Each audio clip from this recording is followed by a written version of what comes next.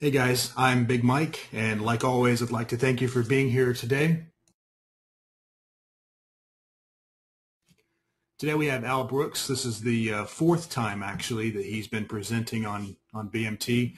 Uh, today, Al is going to talk about trading channels, and in particular, he wants to talk about when to swing and when to scalp within a channel, uh, how to manage stops within a channel, uh, how to trade strong, weak, uh, I'm sorry, how to trade strong, tight channels as well as weak, broad channels. Uh, like always, as you guys have questions, you can type them into the questions box and we'll do our best to get those answered. The webinar is being recorded. It will be posted on BMT in the usual spot sometime tomorrow. Uh, I will also send a link over to uh, to Fletch at uh, on Al Brooks' website, and he can post a link uh, sometime tomorrow when that webinar is uploaded. At the end of this webinar, we are going to give away 10 copies of your choice of any of Al's uh, three new books. Uh, so stay tuned to the very end for those quiz questions. Uh, like always, I will be asking for your BMT username if you are the, uh, the person that has won a prize, and then that's how I will get a hold of you and get your contact information so that we can get that autographed book into your hands. So if you do not have a BMT uh, username, if you don't have an account on BMT, please create one now. It is free. All right, guys, give me one second, and I will be turning things over to Al. Hang on, please.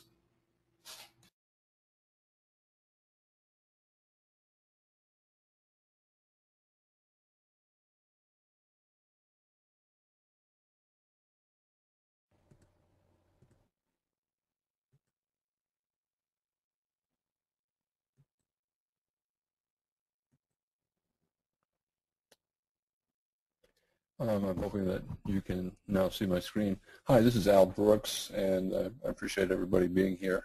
And I'd like to thank Mike for giving me the opportunity to speak. Mike, if uh, you do not see the screen, either send me an email or um, you know just uh, tell me, and uh, I'll do whatever I have to do to make it visible. Um, I've written a series of books on price action, and um, you know, I make very little money off the books. Wiley hates it when I say that, but that's the reality. Um, I wrote the books more for uh, personal satisfaction. Um, and it was fun to write the books. You know, I, I speak all day long in my uh, chat room, and I enjoy um, becoming better and better at articulating what I do. I trade for myself. I take lots of trades all day long. And when I'm talking in the room, uh, I try to point out a number of setups before um, uh, they happen.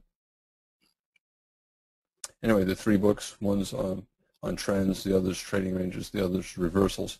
Within the books, there are other things as well. In the trend book, there's a lot of information about basic price action reading. On the trading ranges, I talk about swinging, scalping, stops, and uh, money management. And in the reversals section, I talk a lot about uh, day trading, some about options, and um, an overall approach if you're um, just starting out as a trader.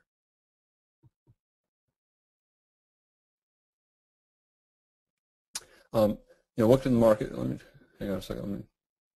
Me, okay, um, on my website brookspriceaction.com, um, I provide the content, and there are some traders who uh, run the site, and uh, there are a lot of free articles I've written. I don't know, maybe a dozen, maybe two dozen articles for Futures Magazine.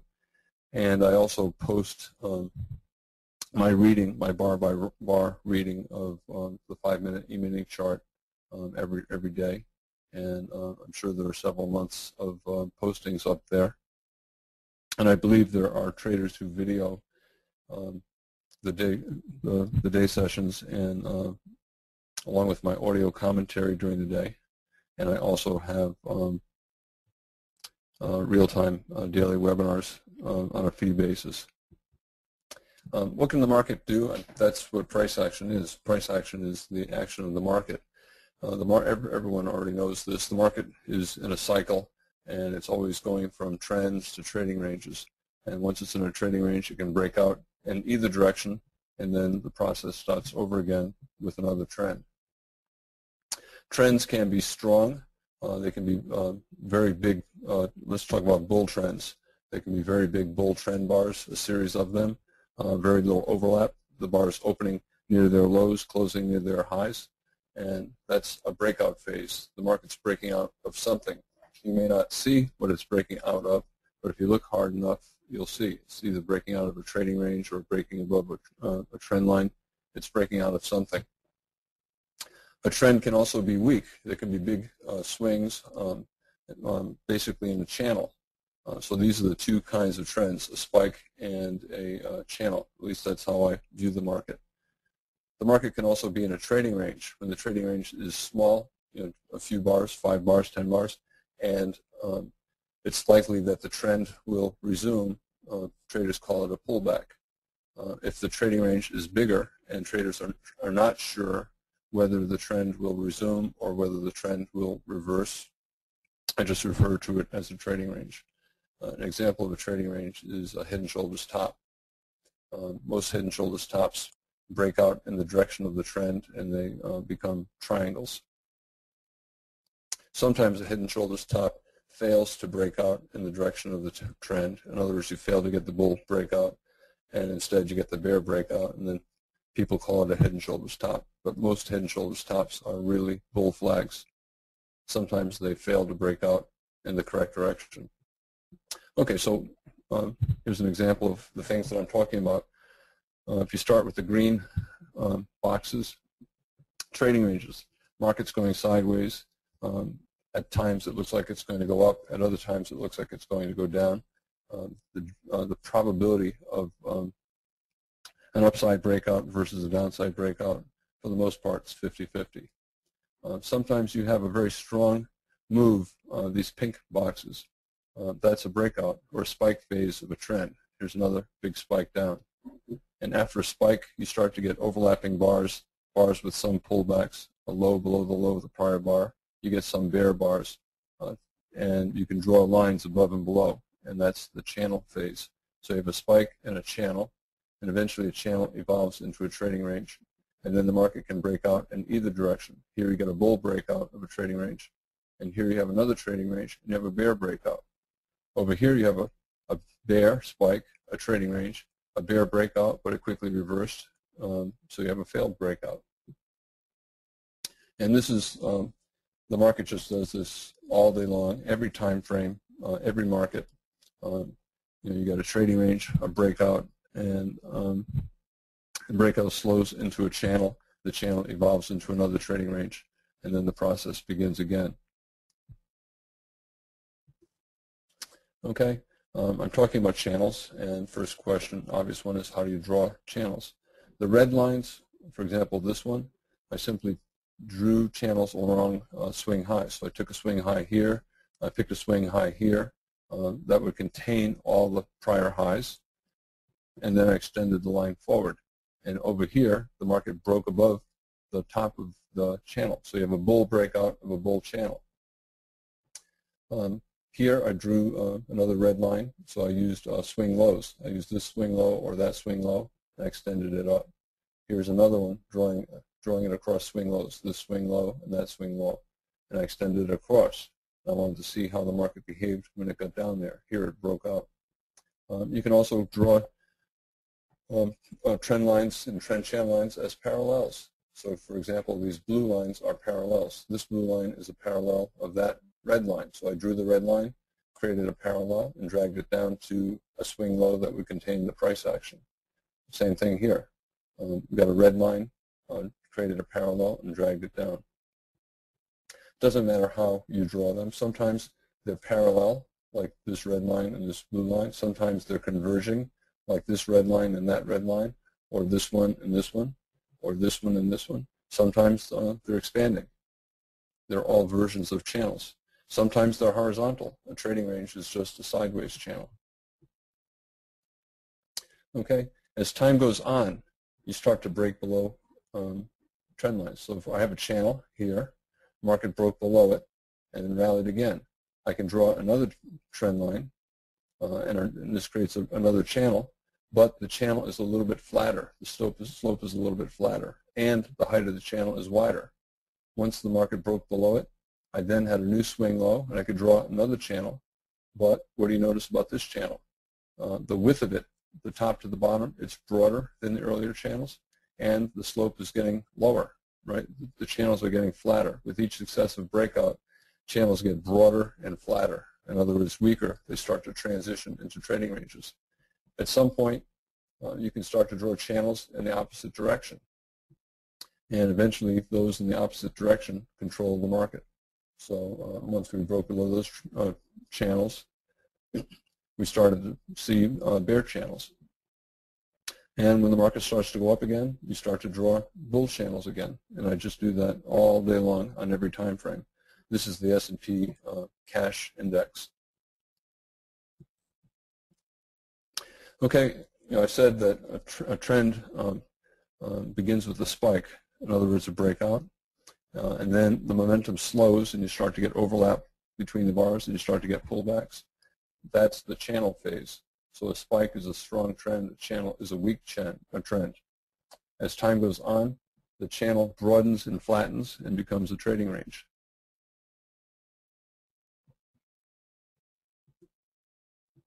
Okay, a channel, it's a weak trend and it's contained between a couple of, of lines. You can call the line above and the line below trend line if you want. You know, I, I usually uh, use the word trend channel line and trend line. So if I have a bull channel, channel going up to the right, the line below is the trend line. Everyone agrees with that.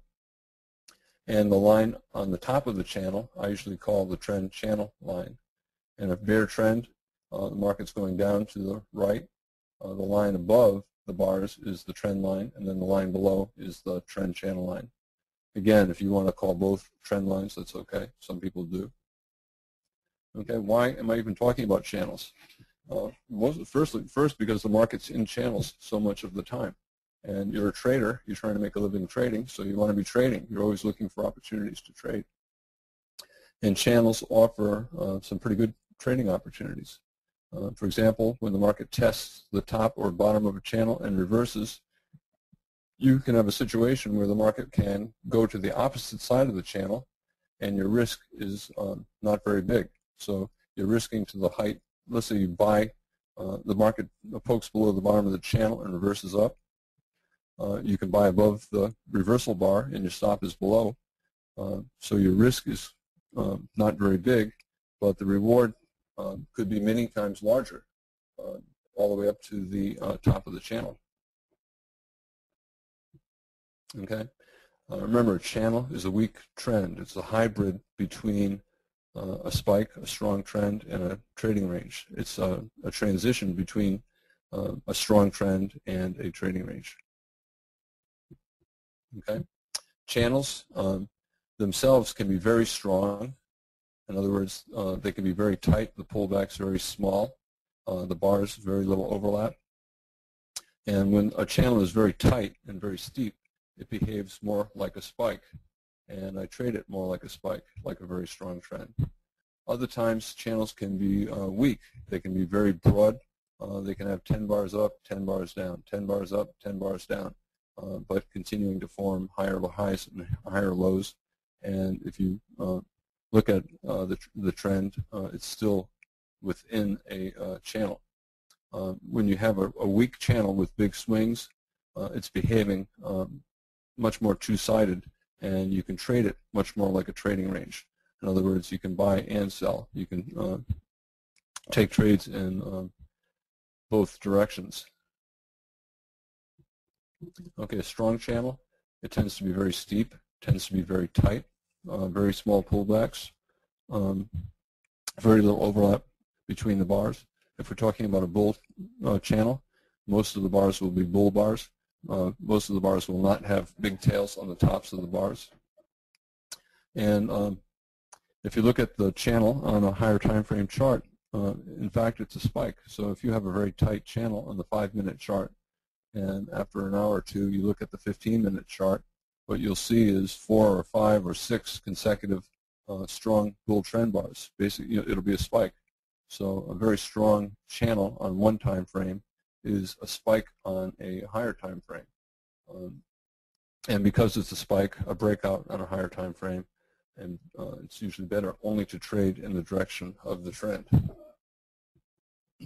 A weak channel uh, tends to have lots of swings, and the swings tend to be broad, like a wedge or like a stairs pattern. And uh, there's a lot of two-sided trading taking place. The bulls own the market for a few bars. The bears own the market for a few bars. If the swings up and down are uh, broad enough, um, you can take trades in both directions just like you can within a trading range. Okay, so here's an, uh, example of the 60-minute E-mini chart. The blue boxes, spike phase. Uh, lots of consecutive bull bars, very little overlap.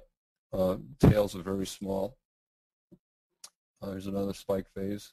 Um, there's some pullbacks in here, but it's still very, very tight. If you want to call that a tight channel, you can. Uh, but this is a good example of a spike. Here's a channel. Market's going up and down and up and down, up and down, and it's contained within a couple of lines. This channel and this channel are uh, contracting, converging, right? They're wedges, uh, and wedges are uh, examples of uh, channels. This channel, the lines are parallel. Um, it doesn't matter. They're both channels. You got a spike and a channel. Here you have a spike down and then a channel. Here you have a spike up and a channel.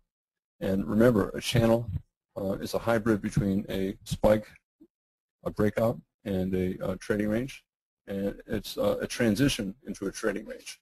So usually when you have a spike like this, and then it starts to channel up, you have to be thinking that the entire picture is going to evolve into a trading range.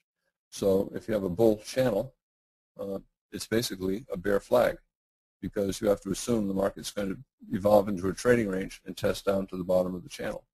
So um, here we got a bull channel. So to me, I think of that as a bear flag, and a pretty good chance the market's going to try to test down to the start of the channel, the bottom of the developing trading range. Here we got a spike down, a gap, and then a spike, and then a channel. A channel, bear channel, bull flag, should try to test up to the top of the tra developing trading range. Another uh, spike up here, a channel. This channel should evolve into a, a, trading range, and the market will probably test down to uh, bar 17. And that's the process that takes place all day long. Within uh, these uh, channels, there are smaller spikes and smaller channels. All right, so the process takes place on all kinds of time frames. There's a spike and a smaller channel, another spike and another channel. So the process takes place on uh, all time frames all day long. So the market has strong momentum, a spike, uh, it loses momentum, becomes a channel, loses more momentum, and enters a trading range. And then it breaks out uh, in either direction. Uh, when you're entering trades, when I enter trades, um, I sometimes enter with stops. I sometimes enter with limit orders. and um, you know why? Why the two choices? Uh, buying on a stop. Um, so let's say I'm buying on a stop above the high of the prior bar um, I'm buying a breakout. I'm buying the breakout of the high of the prior bar. That prior bar is probably a little bull flag on a smaller time frame chart. So if I'm buying above the high in a five-minute bar, if I looked at a one-minute chart, it's probably a one-minute bull flag. Anyway, so if you're buying on a stop above the high of the prior bar, you're buying a breakout. Every time you see a big tail on the top of a bar, what you see is a failed breakout. The market tried to become a breakout bar. It tried to become a big bull trend bar. Instead, it got a big tail on the top. So there was a failure. The market is more two-sided. If um, most of the bars have a lot of tails and they overlap the prior bar too much, most breakouts will fail. And why is that? If most of the bars have tails on the top, you have failed breakouts above. If there's a lot of overlap with the prior bars, uh, overlap trading range, most breakouts will fail. And why? Why?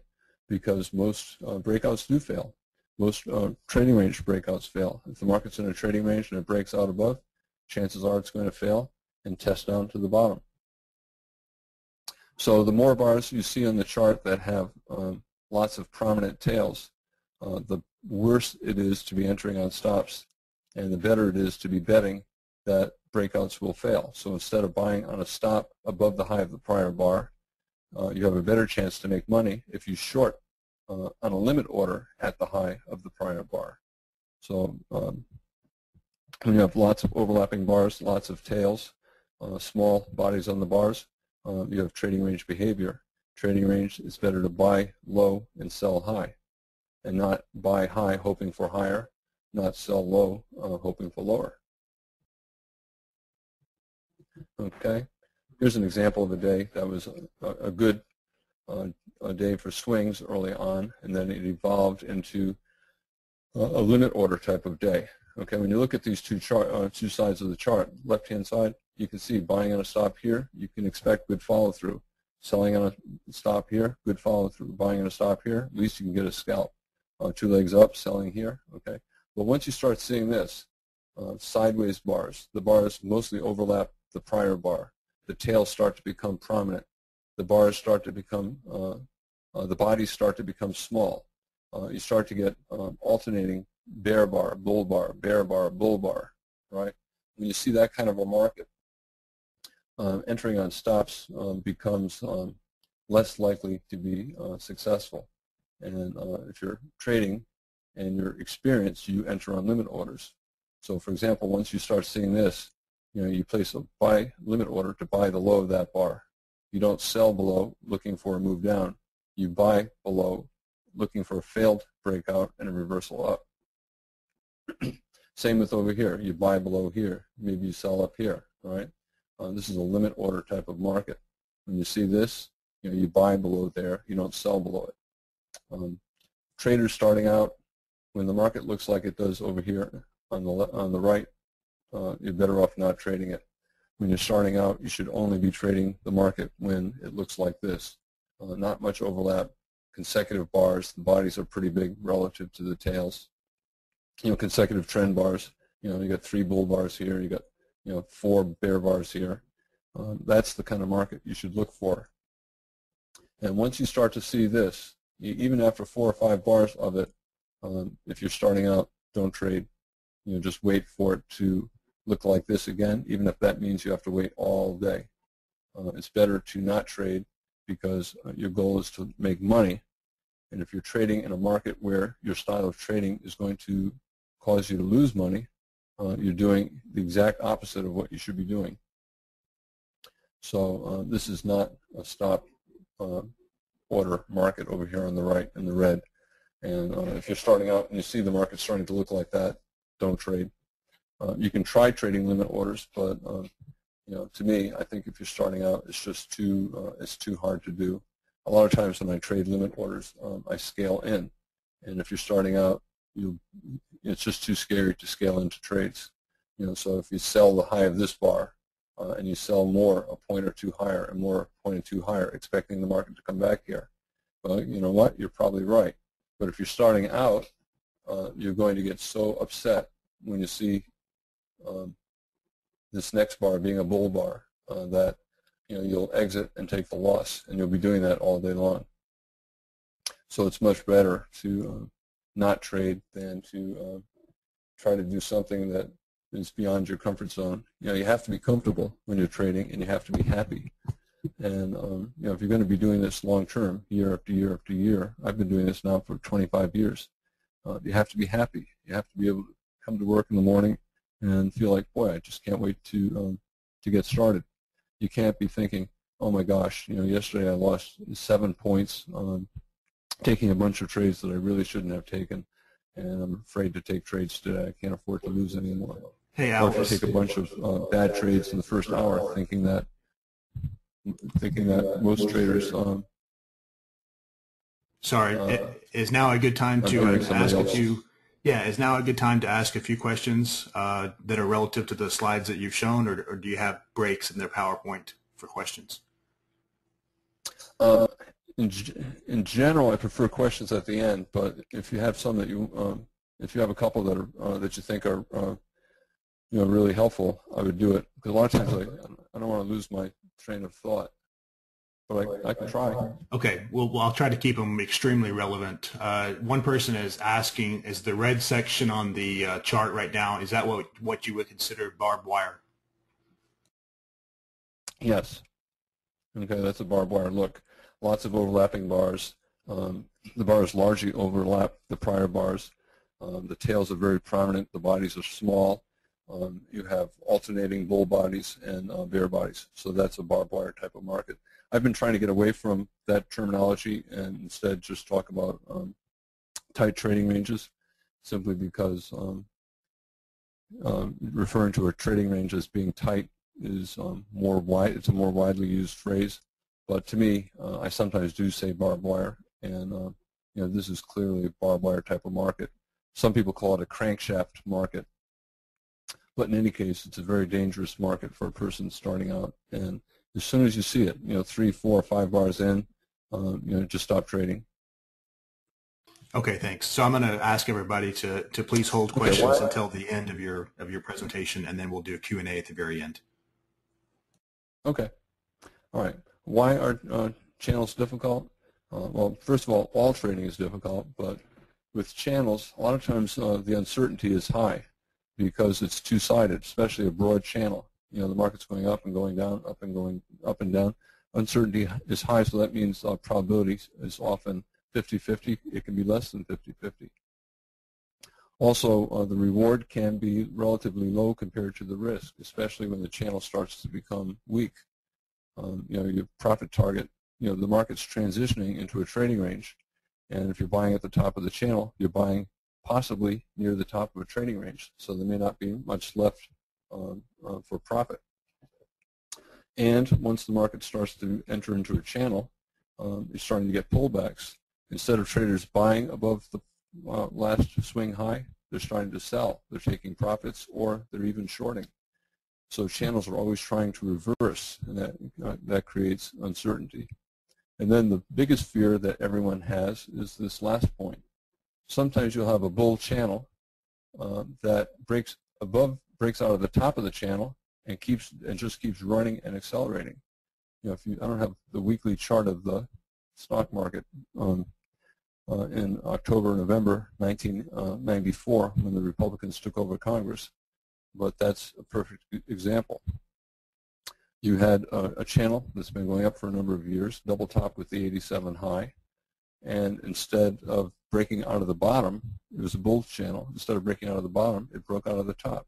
It went up for a week, another week, another week, another week, uh, and it just started getting consecutive week after week after week of uh, bull trend bars and that was the start of the bull market that we're still in. We're now in the trading range, 10-year uh, trading range uh, after that bull spike, and we're still in it. Same true, and same is true of the bear channel.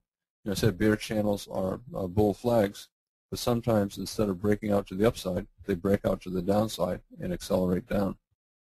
And that's the great fear that everyone has uh, of um, you know huge uh, risk. I have an example of that that I'll show in a few minutes. Also, why else is uh, trading channels hard? Uh, all trading is hard. Uh, it's a zero-sum game, and you're trying to take money from very smart people. Uh, you're basically basically trying to take money from hedge funds. You're not trying to take money from the other people in this room. All the individual traders make up maybe 5% of the market. 95% of the market is uh, uh, Goldman Sachs and you know, Morgan Stanley and J.P. Morgan and Citibank and hedge funds all over the place. And that 95% of the market is not looking at us as the source of their income. We don't have enough money. They're trying to take money from each other. Um, so that tells you that the, the edge, the margin is uh, very slim, right? If, uh, if you get basically a group of equally smart people trying to take money from each other, um, it's very hard to do. um, so, you know, whenever you're taking a trade, as confident as you are that your trade is great, in fact, it's not all that great, and your edge is not all that big. So um, you can't get overly confident, and um, you know you have to realize that uh, you know the other side is probably always going to be at least 40% uh, likely to be right, and even at your best, you have to assume that you're not going to be right more than 60% of the time. Can you be right more than that? Yes. I have lots of days in which I don't have any losing trades but that you know took a long, long time to get here. Also, you know, I, most of that is scalping. You know, scalping is high probability. But for the most part, I assume that I'm not, never more than 60% right when I'm looking at a setup. And, um, and so that means my edge is small. at the end of the day, I tend to get tired. Um, so what does that mean? It means I'm not as good. I don't read the charts as well. Uh, I'm not as confident. Uh, I might make more mistakes when I place my orders. You know, I trade multiple accounts and it's easy to make mistakes. Uh, yet my competition is uh, uh, the group of institutions and 75% uh, of their trading is done by computers. 11 o'clock, 12 o'clock Pacific time, those computers are not tired. They're trading as well as they did at 6.30 when the market opened. Right? I'm not. So I tend to get cautious at the end of the day. Um, when there's a report, um, let's say it's 7, uh, 7 o'clock, 10 o'clock Eastern time, the market can move very quickly. Uh, those computers can make two or three trades before the price on my chart even changes one tick. You know, there's latency. Uh, you know, they're, they're, they're right next to the exchange, and uh, you know, just think about how many steps there are uh, from the time a trade uh, takes place and it uh, registers as a, a, movement on my chart on my computer. You know, you can say, well, Al, that might only be a second or half a second. That's right, but um, the computers are trading um, based on milliseconds, you know, thousandths of a second. So, um, you know, I'm, I'm getting data that's somewhat delayed, even though it's real-time data and those computers have algorithms. They're receiving uh, data from reports uh, in numerical form from uh, Dow Jones News Service. So um, they're they're they're trading as automated based on those numbers, um, and they're making decisions far faster than I can make my decisions. They're placing their orders far faster than I can place my orders. Uh, they can trade reversals far faster than I can think. Um, so they have an edge over me uh, at the time um, of a report or anytime the market is moving quickly. So um, I rarely take uh, a trade uh, at 7 o'clock or, or like when the FOMC comes out, I usually wait a bar or two before I enter because speed is important. I don't have speed and my opponents, the computers, do. So anytime um, I have less of an edge or anytime my opponent has an edge, um, I don't trade. Okay, I was talking about how trading range breakouts fail. The market has inertia. When I'm trading, I always want to bet that the market will continue to do what it's been doing. When the market's uh, when it's trending, it's always forming pullbacks. Every one of those pullbacks is an attempt uh, to reverse the trend, right? But 80% of those attempts will fail and become uh, flags. So if the market's selling off hard and you get a pullback bar, you can look at it and say, wow, this is a reversal. It's a climactic, climactic reversal. Um, it's not. It's going to be a bear flag 80% of the time. This is approximately. But you know, basically, most of the time, if the market's in a trend and it's trying to reverse, uh, it's going to be uh, a flag. If it's in a bear trend, the reversal will become a, a bear flag. If it's in a bull trend, the reversal will evolve into a bull flag. When it's in a trading range, it's always trying to break out into a trend, but 80% of the attempts to break out will fail. So you'll see very strong rallies, and you'll be absolutely convinced that the rally is the start of a bull trend. And then you see the market reverse and collapse and uh, have a very strong sell-off, and you become convinced the market's now in a bear trend. And you're wrong both times. The bull trend that you see is a bull leg within a trading range. The bear trend that you see is a bear leg within a trading range and uh, most attempts to reverse will fail. The market constantly gets sucked down to the bottom of the range and sucked up, vacuumed up to the top of the range, only to reverse. So betting on a trading range breakout is a losing prop proposition. Most trading range breakouts uh, fail. Okay. Um, I said earlier that you can have a bull channel and the market can break out of the top of the channel it often breaks out of the top of the channel. But most of the time, when it does, uh, it uh, reverses and then tests the bottom of the channel. Uh, look at this blue line here. This is the one that I showed earlier. Okay, the market um, testing the top of the channel, testing the top of the channel. But look over here, this bar, right? It broke out of the top of the channel. Is that likely the start of a, an accelerated uh, bull spike and another leg up, or is it more likely going to fail? It's probably going to fail, all right? Um, and then it tried again to break out of the top. It failed again. Got a third push up, uh, and, it, and, it, failed. You know, Goldman Sachs back here uh, was saying uh, this is the start of a, a, this is the daily chart of the cash index of the uh, S&P. This is late March.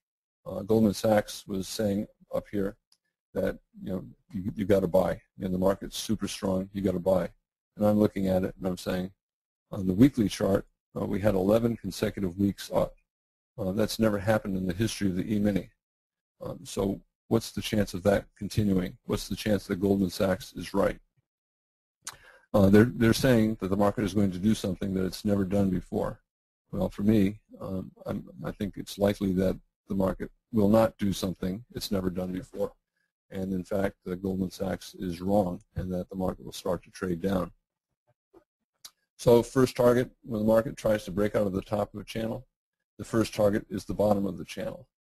Uh, but, but you know, I, you know, I said there are lots of channel lines to draw. Which you know, which channel am I talking about? Uh, always the, the most, uh, the closest one to the market. Here, the market reversed uh, after trying to break out of the top, and that it, it fell below that line. Uh, it reversed up here. This line was not here at the time, but once the market started to reverse up, I then drew this line. I knew I, I now have another swing low, and it created another channel. When the market's reversing down, I, I, it's probably going to poke below this line. It went below it and tried to reverse up. Uh, here it reversed up strongly. I can draw another line. Okay. Um, it turns out that the current sell-off um, came all the way down to um, a trend, a parallel down here, right? So once the market started to turn down here, I could draw a trend uh, channel line across the highs, this red line, and then I could create a parallel and drag it to uh, prior higher lows. For example, this one, market went through it. Drag it down to this one, and this is what the market is currently uh, doing. This this chart's actually um, um, a few weeks old or a couple of weeks old, and the market is um, now up here. Um, but anyway, it, it reversed down. This There are no other channels that I can draw in the daily chart. This is uh, the, the broadest channel that I can draw. So when the market started to reverse down, it went all the way down to the final possibility before it started to go up again. Uh, Apple monthly chart. Uh, remember I said sometimes the market can be in a bull channel. I always think of it as a bear flag. But instead of breaking out to the downside, as you would expect from a bear flag, you can get a strong breakout to the upside. And that's what took place here, right? And this is everyone's fear when they're shorting uh, bull channels, that every now and then, this is what happens. You get a strong breakout above the top of the bull channel, and you get a new spike phase. Now, something about this channel uh, is interesting. Look at the red trend line below if I create a parallel and drag it uh, to the swing highs, I can create this, I get this blue line, and I create a channel. It broke strongly above that. Well, suppose I create another uh, parallel of this red line and keep dragging it up to a prior swing high over here. Okay? Look where the rally stopped. Right? It stopped right at the top of the channel, just like that um, daily chart of the E-mini I showed a few minutes ago. It went to the bottom of the absolute broadest channel. Here, Apple turned down uh, at the top of the absolute uh, broadest uh, channel. And that's because uh, traders do this. They draw these uh, uh, trend channel lines. They draw these parallels. And the bulls, in this case, are looking for places to take profits. one obvious place is at the top of a channel. Aggressive bears uh, look at the top of the channel uh, to uh, go short, mostly for scalps. Whenever I take a counter trend trade, you know, a trade that's not a major trend reversal, um, I'm only looking for a scalp. Okay, go, going back to a strong bull trend, like the spike phase of a bull trend, not the channel phase, the spike phase where you start having a bull trend bar, another bull trend bar, another bull trend bar. Not much overlap you know, no tails, okay? During the spike phase of a bull trend, the breakout phase, the strongest type of trend that there is, Um, how do you get long? Now, what do you do? Well, you can simply buy at the market and put a stop below the bottom of the spike. Well, you can say, well, that's, you know, on the E-mini, let's say that's eight points away. I don't want to risk eight points. Well, guess what? If you want to make money, that's what you do. Uh, if the risk is four or five times bigger than what you normally risk, you trade four or five times smaller. So if you normally trade um, 500 shares of, uh, uh, of the spider, uh, you trade 100 and you use the correct stop. How else can I get long besides buying at the market? Um, well, you can buy the close of any strong bull bar. So if the market's going up and the bar closes near its high, just buy the close of that bar. Let's say the next buy is a bear trend bar closing near its low. Well, it's an attempt to reverse a strong trend. Uh, what's probably going to happen? Uh, it's going to evolve into a bull flag. Uh, certainly the odds are very high that the attempt to reverse will fail. So if the attempt to reverse is going to fail, uh, why not simply buy the close of that strong bear trend bar? That's a good way to enter um, in a strong bull trend. Uh, let's say you get a pullback for a bar or two. Um, you can also buy on a stop above the high of the prior bar. Let's say the market's gone up six bars in a row without a pullback. Well, guess what? Place a limit order to buy at the low of the prior bar. There'll be so many traders eager to buy that if you place a limit order uh, at the low of the prior bar, uh, the market probably won't fall very far and you'll be getting long into that bull trend. Let's say it pulls back a little bit and it's a very strong bull trend. You can also press your bets and place a buy stop above uh, the most recent swing high and buy the breakout to a new high. Uh, you can also buy any small uh, pullback. Okay, uh, so in a strong bull breakout, you buy for any reason. Okay, when you're in a tight bull channel, not a breakout, the market's now in a channel, starting to get some overlap, some pullbacks. Remember, a tight bull channel, a very strong channel, uh, it's a spike on a higher time frame, so I only want to look to buy. Uh, and if it's in a strong spike or in a strong span channel, uh, I usually try to swing at least uh, part of my trade. so strong uh, trend or uh, a strong channel, um, I only want to buy if it's a bull trend, and I uh, prefer to swing at least part of the trade. Okay, um, so how do I buy? Pretty much the same as I do in uh, the breakout phase, the spike phase of a trend. I buy at and below the low of the prior bar. I buy a strong bull close. If there's a bear close, I buy the bear close. Uh, if, if the market pulls back for a bar or two or three or four or five, uh, I buy above the high of the prior bar. If it pulls back to the moving average, I buy with a limit order at the moving average or a small reversal up from the moving average. Um, if the market gets up to a new high above a prior high, um, in a channel, I usually start to uh, take profits uh, at new highs. Okay? Okay, so let's say you see this um, you're trading and you see this. You know, what are you thinking at this point? You can see there's a big gap up. You can see yesterday's high over there on the left at 11 o'clock. Yesterday's high. Big gap up, well above the moving average. And let's say you don't buy this high two, two legs down. Let's say you don't buy these closes, right? Let's say you don't buy this high two, uh, second entry long. And the market, and the market's right here uh, when you decide, gosh, I'm missing this. It's going up. You know, um, you know, what am I going to do? You know, I, I missed. Uh, you know, I've missed 10 points of uh, the move already. Um, you know, what am you know what am I going to do? So at this point, you've made a diagnosis, right? You see, you have a strong bull spike, a three-bar bull spike, bars eight, nine, and 10.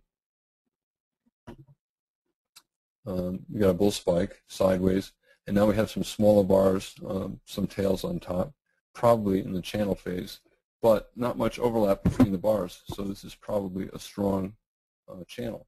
Okay, so you want to get long, right? How do you get long, and where are your stops? Um, I'm going to talk about that over the next few slides. Okay, um, okay. You know you want to get long. You know it's a bull trend. You know if if your job is to be doing what the institutions are doing. Uh, the market's going up It's clearly going up. It's probably going to go up more. The market has inertia. It usually continues to do what it's been doing. It's been going up for five or ten bars. So you have to get long. That's what the institutions are doing. They're buying. So you got to buy. But how do you do it? And if you do buy, you know, where do you put your stop? Okay? Don't um, get upset by this slide. This I, am going to break this slide down into a series of uh, slides um, and talk about the different things. Uh, this is where that other slide was, right here at bar 17. Okay? You knew that you had to get long. By the way, a number of these bars, the first bar of the day is bar 1, the second bar is bar 2, and there are 81 bars in the day. And these numbers just represent the different bars of the day. So this is the 10th bar of the day. You know, this is the 62nd bar of the day. It's just an easy way for me to reference uh, bars. Okay, so um, you have this bull spike, 8, 9, 10, pause, and then probably start of a very steep channel through here. Steep channel, it's a spike on a higher time frame chart. You only want to get long, um, and uh, you got to figure out how to get long. And how do you do it? Uh, the red areas, I'll talk about the red areas, that's buying with stops above the high of the prior bar. The blue boxes, uh, you place limit orders at the low of the prior bar uh, to buy. And you can also um, buy at the market. Every time you see a strong bull bar, the pink boxes, you buy the close.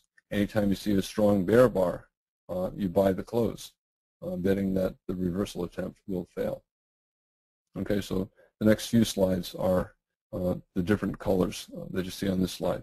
Okay, so you know your strong spike, excuse me, the strong channel is the spike on a higher time frame chart. All this move up from 7 to uh, 38. It's a um, little channel type behavior on the 5-minute chart. On a 15-minute chart or a 60-minute chart, it's just a series of bull trend bars. Um, so you, you, you want to start getting long? Well, you place a stop above the high of the prior bar. Okay, this bar forms, uh, and you want to get long, you can place a stop one tick above its high, and you get long there. Uh, what about this little pause here? Place a stop, a buy stop, one tick above its high, you get long there. Uh, you got a, a, triangle here, three pushes down, uh, 21, uh, 24, and 27. Uh, you want to get long? You got a good-looking bull bar. It's always good to buy above bull bars, especially in a bull trend, right? So you place a buy stop one tick above its high, you get filled here. Um, a bear reversal bar, well, guess what? There'll be bears um, who made the mistake of shorting and they will get out one tick above. Uh, and they won't want to short again for at least a bar or two. What do you do? You can place a buy stop one tick above its high. Over here, we're starting to go sideways. So I'm less aggressive about buying here. This is we're transitioning into a trading range. Uh, so I'm not really talking about what took place between bar 40 and the end of the day. Uh, remember, channels evolve into trading ranges, and that's what took place after bar 40. Today I'm talking about what's taking place between bar 16 and bar uh, 38 or so. What, what are other ways to get long? Okay. Uh, you're looking at the market going up. Bar over here, remember, bar 17 is when you uh, uh, started the process. You're thinking, my gosh, you know, I'm missing it. I've got to get long. Well, I said you could buy on stops above bars. You can also buy with limit orders below bars. Um, you see the market trying to reverse, place a buy limit order one tick or at the low of the prior bar. Same here, place a limit order at the low of the prior bar. Up through here, I'd be less interested in um, the limit order entries. Um, I'd be extra careful. I certainly would not want to buy at limit orders at the top of a developing trading range. Buying at limit orders near the bottom, that's okay. How else can you get long? You can enter on stops. You can enter with limit orders and you can simply buy uh, at the market at the close of any strong bull bar. So you see bar uh, 18 close, you simply buy at the close of the bar. Bar 19, it's a strong bull bar, you buy. Uh, bar 27 right here, strong bear bar, you buy its, uh, you buy its close. Uh, you buy that close, right? Doesn't matter, bull bar or bear bar. Bull bar, market's probably probably going to continue higher. Uh, bear bar, it's an attempt to reverse most reversal attempts will fail.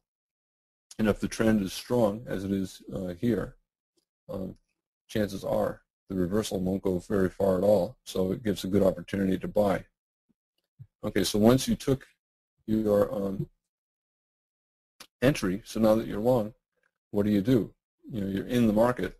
Um, you have to start thinking about, I have to place a protective stop. And uh, what do you do for your stop? Well, it depends on what your goal is.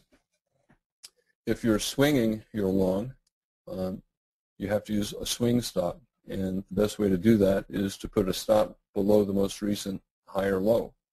A bull trend is making higher highs and higher lows. Anytime you enter and you're looking for a swing, you look back to the prior higher low, and that's where your stop is. You say, well, Al, that's six points below. I don't want to risk six points. I only like to risk two points or less. Well, guess what?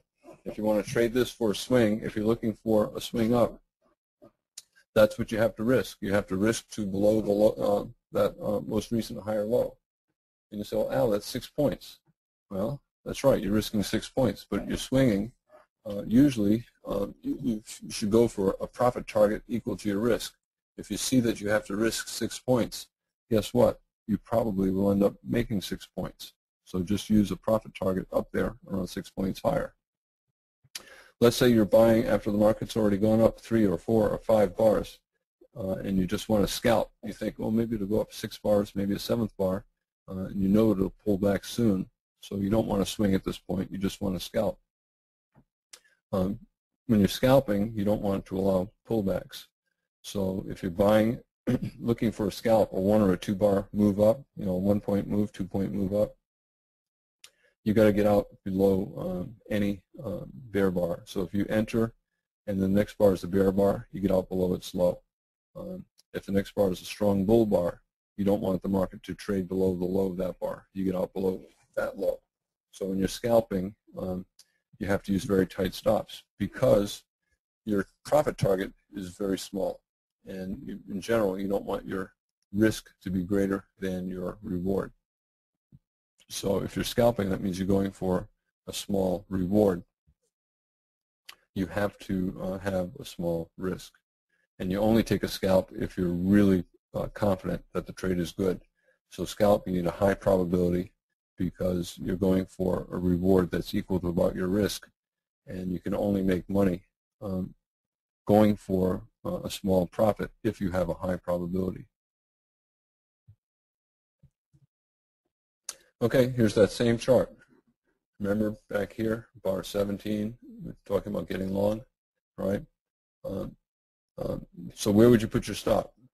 I gave several several examples of entries here. So let's say you bought um, this close on this uh, uh, bar 16, or let's say you bought the close on bar, uh, let's say bar 19. Let's say you bought that close. Um, where's your stop? It depends on your goal. If you're looking for a swing, you should go back to the most recent higher low, which is the bar 15 low, and your initial protective stop for any long all through here, if you're looking for a swing, is below that low. Um, if the market uh, has a pullback and then goes to a new high, you raise your stop up to below the most recent um, higher low. So if you bought this close, uh, we had this uh, trading range or triangle, and the market broke out to a new high, once it gets above that high, uh, you trail your stop up below the most recent higher low. Over here, we had an outside up bar. Uh, it's strong enough, uh, especially once you've had a, a, second bar up, you could probably trail your stop here. um, if you're concerned that you don't want to risk uh, this many points, uh, and you bought the bar 19 close, where else could you put a stop? You could put it one tick below the low of the most recent strong bull bar, which would be this bar. Um, there's the risk that this is a, a climax and a one bar final flag, but um, you know, I don't want to I don't want to go off uh, topic right here. But I do want to make the point that if you don't want to risk all the way to below 15, especially if you bought on um, bar 19 and you're looking for a smaller stop, you could use a point, a, a money management stop, like two points or 10 ticks or something. Or you could put your stop below the most recent strong uh, bull trend bar, like below that bar. Let's say you bought bar 16 and you only wanted to scalp, right? Um, or if you bought the close of bar 16, or if you bought on bar 17 as it went above bar 16. Uh, you don't want pullback, so your initial stop is below your signal bar, uh, the 16 uh, low. And um, you, are going for a goal that is at least as many ticks as your stop. Once, you're, uh, once it hits your goal, you get out. The bigger the risk, right, the greater the risk, uh, the higher the probability of success. So if you bought the 19 close and you used a stop below 15, a very big stop, uh, you have a much better chance of making at least some profit than you do if you uh, instead put your stop um, you know, uh, one tick below the low of the bar. This is true all the time. The wider the stop, the higher the probability of profit. But um, that greater profit is being paid for by the greater risk. That when you do lose, you lose far more uh, ticks than you do with a smaller stop. Usually, um, you know, the market always you're always taking trade-offs between risk, reward, and probability, and it doesn't matter which of the three you favor. Um, you know, if you favor one, you have to pay for it with one of the others. So if you want a bigger reward, you probably have to pay for it uh, uh, with probability. so there's a smaller chance of making a bigger reward. If you are a person who only wants high probability trades, well, guess what? High probability trades usually don't go very far. So you're trading off, um, you're taking a higher probability, you pay for it with a smaller uh, reward, right? You'll make less money. Anytime you take a high probability trade, you're going to make uh, fewer ticks. Okay, going back to a weak bull channel, bull tells you it's a trend. Channel implies a weak trend. The weaker, you know, I've been talking for the past 10 minutes about a, a strong channel. Now I'm going to be talking about weak channels. The weaker the channel it, it, it is, you know, the broader the swings, the flatter the slope, the more trading is taking place in both directions, um, and the more it'll behave like a trading range. I've been talking about bull trends and bull channels and bull spikes all day long. Um, the same holds true for uh, bear trends, bear breakouts, bear uh, uh, channels.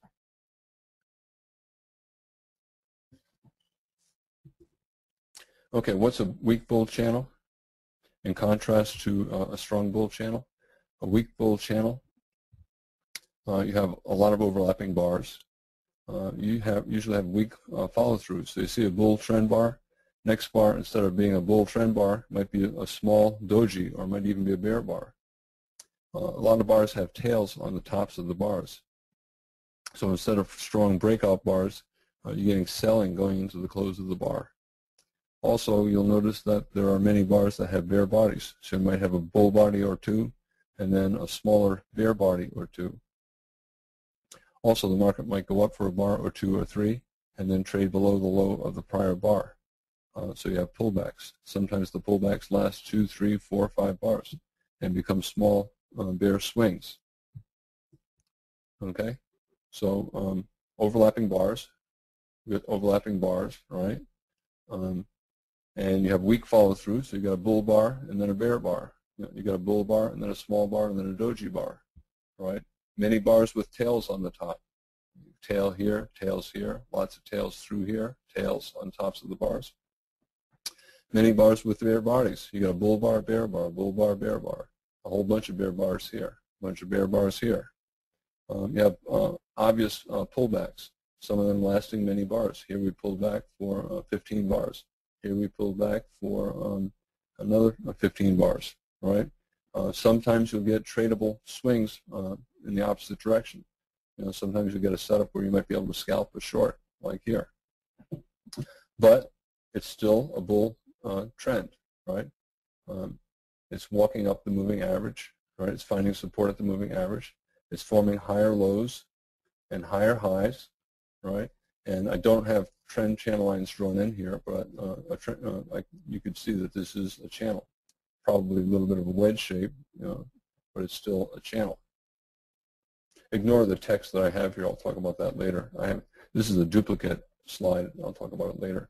Uh, I put a, I put a copy of it here just to illustrate uh, the points that make traders see it as a weaker bull channel. Okay, so you often have tradable swings in both uh, directions. Uh, it basically behaves like a trading range that is tilted up. There's two-sided trading. The more it looks like a trading range, the more I trade it like a trading range. Trading range, I buy low, I sell high, and I scalp.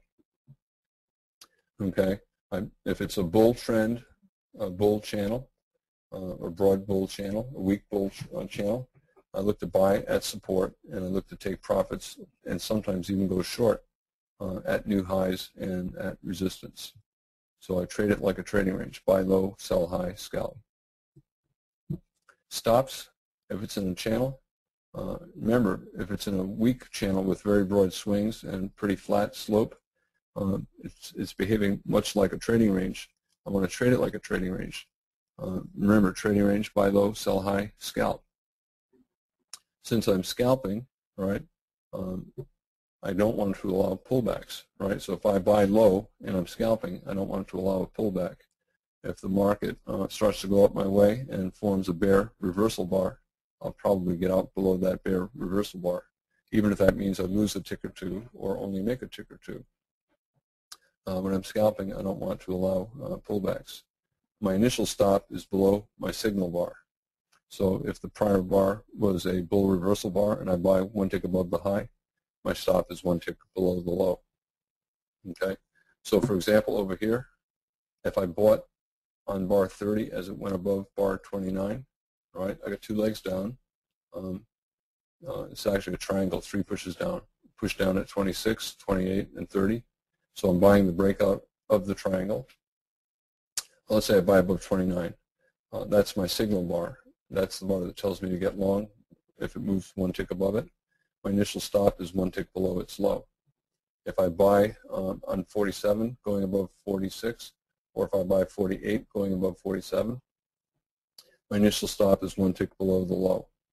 Uh, if I buy 56 going above uh, 55, uh, 55 is my signal bar. My stop is one tick below its low. Why not buy above 54? In general, I prefer to buy above bull bars, especially bull bars that close near their high. So I think buying above 55 is a stronger buy than buying above 54. If I buy above 66, my initial stop is one tick below its low. I see a terrible entry bar, the bar in which I entered.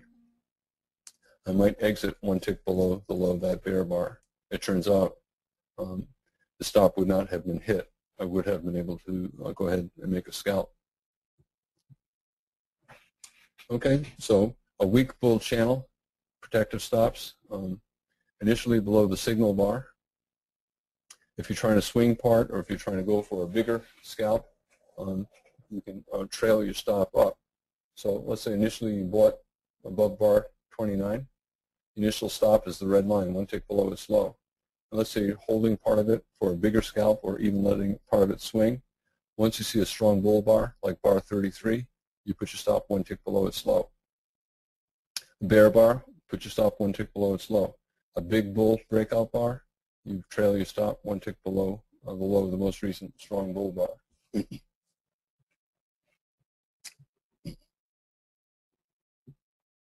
okay, let's say you um, bought over here above bar, uh, here's bar 46. Let's say you bought above bar 46 or 47 and you, you did not scalp out um, for one point up here on this uh, bull bar, bar 49, and you instead, instead see this uh, bear bar, um, to me, you get out below the low.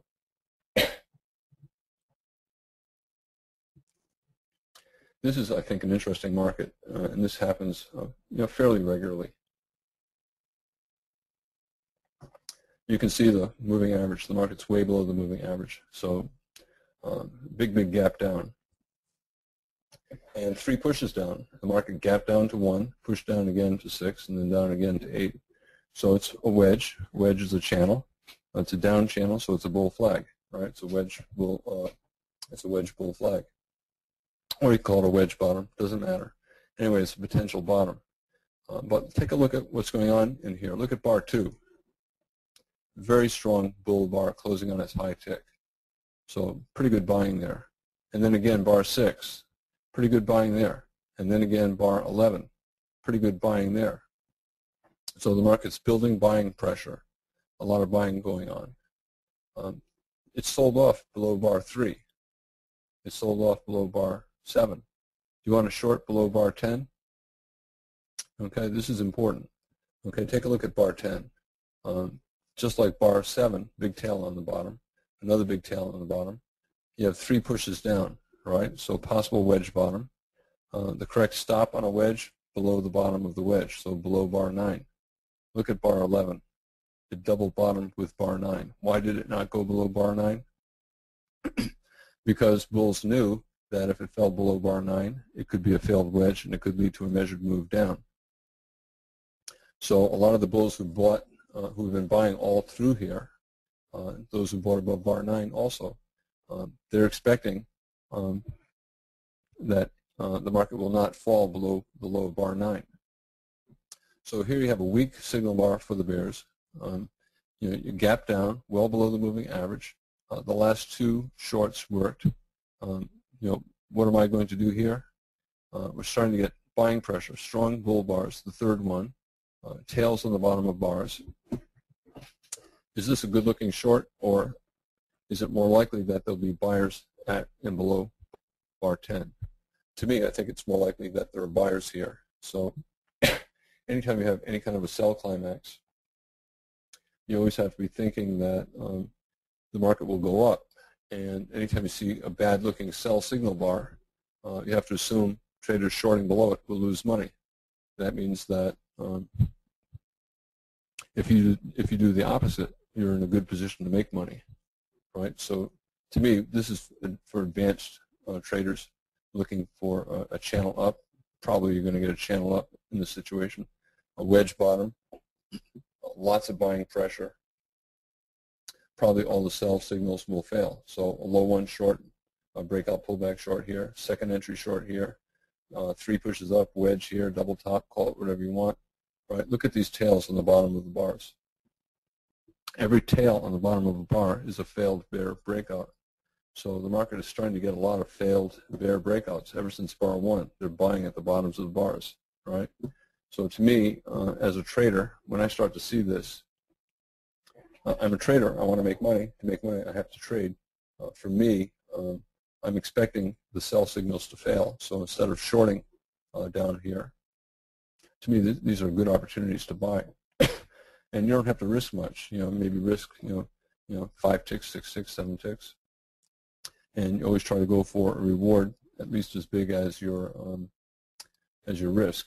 Um, and the point of this slide is to uh, uh, illustrate that sometimes you can get bull channels forming in situations when it's easy to be thinking um, bear trend, right? But uh, you got a, a possible wedge bottom, lots of buying pressure. To me, the odds are the market's going to go up to the moving average.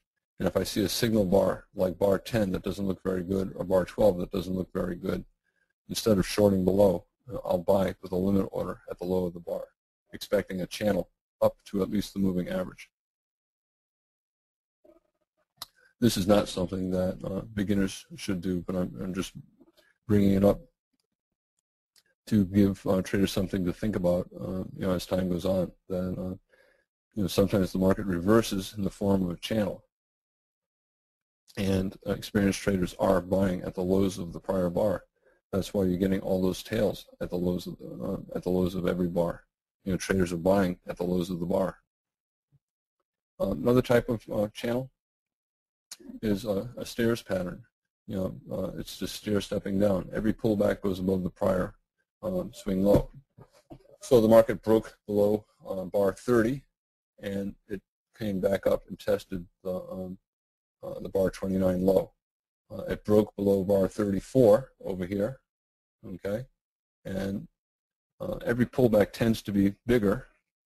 Uh, the pullback from the breakout below 29 came exactly to the breakout point. When the market breaks below 34, I think that this time it should not only come back to the breakout point, it probably will go above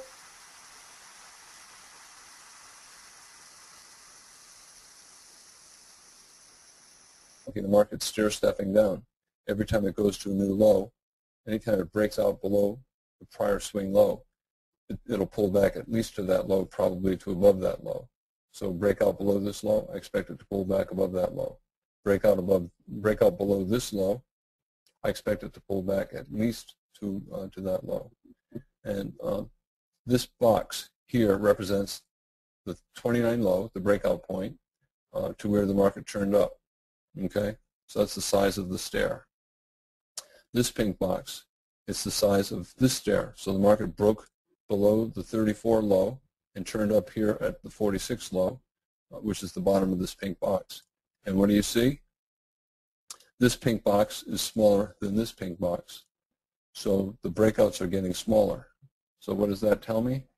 It tells me that probably if the market falls below 30, uh, 46, it probably will not fall more than it did here. So the next pink box will probably be smaller than this box. So if I place a limit order, uh, let's say you know four ticks below that low, and risk to the height of this box, uh, so this box is about nine ticks tall, okay? So if I buy four ticks down, I expect it will not fall nine ticks down, uh, so I can risk five ticks and try to make a couple points on the bounce. so um, you know this is a shrinking stairs pattern, and this is another example of uh, once you get comfortable you know, reading markets, um, spike down here, starting to channel, you can start fading uh, breakouts. Um, how do I know that um, traders are doing that? Because that's what, just look at the chart, that's what the chart's doing. And that tells you that that's what the institutions are doing. They're fading breakouts. Uh, they're buying either to take profits or to go long. And with each new low, uh, they're buying sooner than before. Here they bought uh, you know three or four points below the prior low. Here they bought only two points below the prior low. So here they'll probably buy maybe only one point below the low. So once you see a, a, a channel that is in a stairs pattern and is starting to shrink, you know, aggressive, experienced traders uh, will use it as an opportunity to fade uh, breakouts. You can say, well, it's, it's obviously in a strong bear, uh, bear trend. It is, but you can still trade uh, the channel uh, uh, from the long side if you're um, um, if you know if you're comfortable with what um, the market is doing.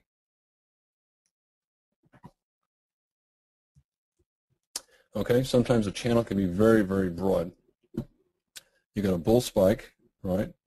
You got a series of bull bars without pullbacks, bars closing in their highs, sideways for a little bit. You have to assume the market will enter a channel. You get another bull spike, but you know, big tail on the top.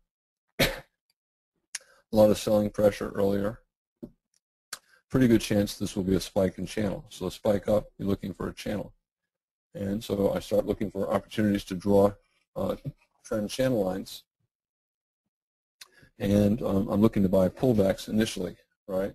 Uh, market uh, pulls back to a higher low, okay? Here you're testing, the 48 low is testing the uh, 32 high, very common in channels. Um, I'm looking to buy above uh, the most recent uh, bull bar, so buying above 49, maybe buy above 50, a better looking bull bar expecting a channel to form. Sometimes the pullbacks are very, very deep. You can see, you can see bar 70 um, uh, did not fall below 48. We're still making higher lows, but at this point, the market came down so far that the market's probably transitioned into a uh, trading range. Uh, my point about um, a broad channel, the pullbacks are very deep, and um, it's uh, in the process of evolving into a trading range. Um, I'd rather trade it more like a trading range. So if I, I think the market's in a broad channel, uh, I want to trade it like a trading range. I want to buy low, uh, sell high, certainly sell high to, to sell out of my longs to take profits. And sometimes I'll even sell uh, high uh, to, um, uh, to short. Um, since it's a bull trend, um, if I have to choose between buying and selling, I'd rather um, buy. And so to me, the selling is optional. But if you're going to trade, you have to be looking to take the buys, uh, like above 24, like maybe above 22, maybe above 32, um, maybe above 49 or 50, or 51 even, closed on the high tick. Okay. Sometimes a broad channel can uh, uh, be contained by converging lines. In other words, it can form a wedge bottom or a wedge bull flag. But it's still a channel. Uh, the swings are still big. You know, look at look how high up this uh, leg went up to bar 29. Right. So the swings are big enough uh, that as it's forming, you're thinking, is this a trading range or is this a channel? Doesn't matter. If you can't tell, assume it's a trading range and look to buy low, sell high, and scalp. At the end of the day, you'll look at it and say, yep, there's a channel. But you know, over here, uh, bar 48 or so, uh, you know, you're thinking, well, maybe it's just a trading range, and maybe it's going to go up and test the top. Doesn't matter. Anytime um, I see a lot of two-sided trading and I can't tell if it's a channel, a broad channel, or a trading range, I trade them the same. I trade them like a trading range. I buy low, I sell high, and I scalp. So if I bought above bar 47, um, I'm looking to scalp. You know, scalp how many points? You know, one point, two points. Uh, doesn't matter. It depends on uh, the price action. Certainly at least one point. But broad channel, um, it behaves much more like a trading range. I trade it like a trading range. And I will take trades in both directions.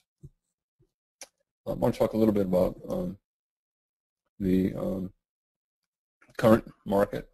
Uh, this is uh, the monthly chart of the uh, S&P. And you can, everyone sees, this is the 1994 um, bull breakout that I talked about. There was a, a bull channel, therefore a bear flag, and instead of a bear breakout, we got a bull breakout back here in 1994, 1995. And this is the third push-up. You can argue it's a large head and shoulders top. Uh, you can say there's a nested three-push pattern within it. To me right now, we're channeling up. Um, uh, the market's holding above the moving average. Uh, it might come down to the trend line. I don't know. Uh, you can see three pushes here, uh, 2010, 2011, 2012. Sometimes the second push is so strong that uh, the count gets reset uh, and this becomes the first push, this the second push, and we might get one more push up.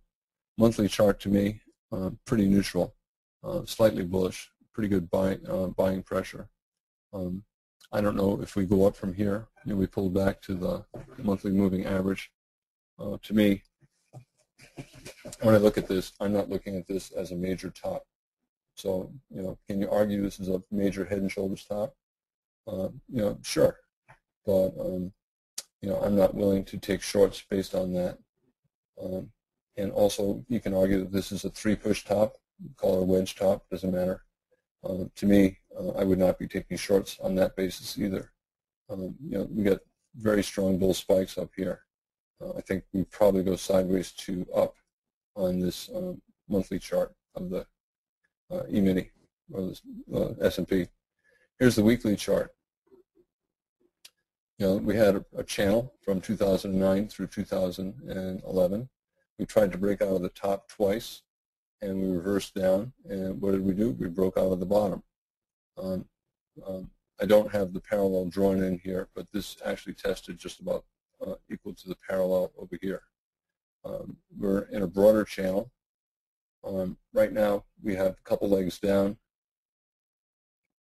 Will we come all the way down to the green line? Um, I don't know. This this chart is a week or two old, um, but uh, when I look at this, uh, when I look at the uh, weekly chart of the cash index, you can argue a sloped head and shoulders top, left shoulder, head, right shoulder. Um, the market's deciding whether um, it's trending down and will get down here to the 1200 area, or whether this is um, just a two-legged correction and a bull trend, and it's going to go up to uh, 1500. Um, when the market was, uh, you know, pretty much anywhere in here, I was talking about um, the market may trade sideways as it did here in 2011 for uh, six months, and we might end up doing that now. So we may be in the process of uh, going sideways. Uh, we had a lower trading range here, 2011, an upper trading range here, and a big space between the two uh, so there's a big gap in here, and right now we're filling in that gap. And it turns out it's in the same price where the market was for uh, most of 2011. So I would not be surprised if we go sideways here for a long time on the weekly chart. Daily chart uh, of the cash index. Again, this chart is uh, uh, behind. It's, I don't know if it's a, I don't know how many days behind it is, but it's certainly behind.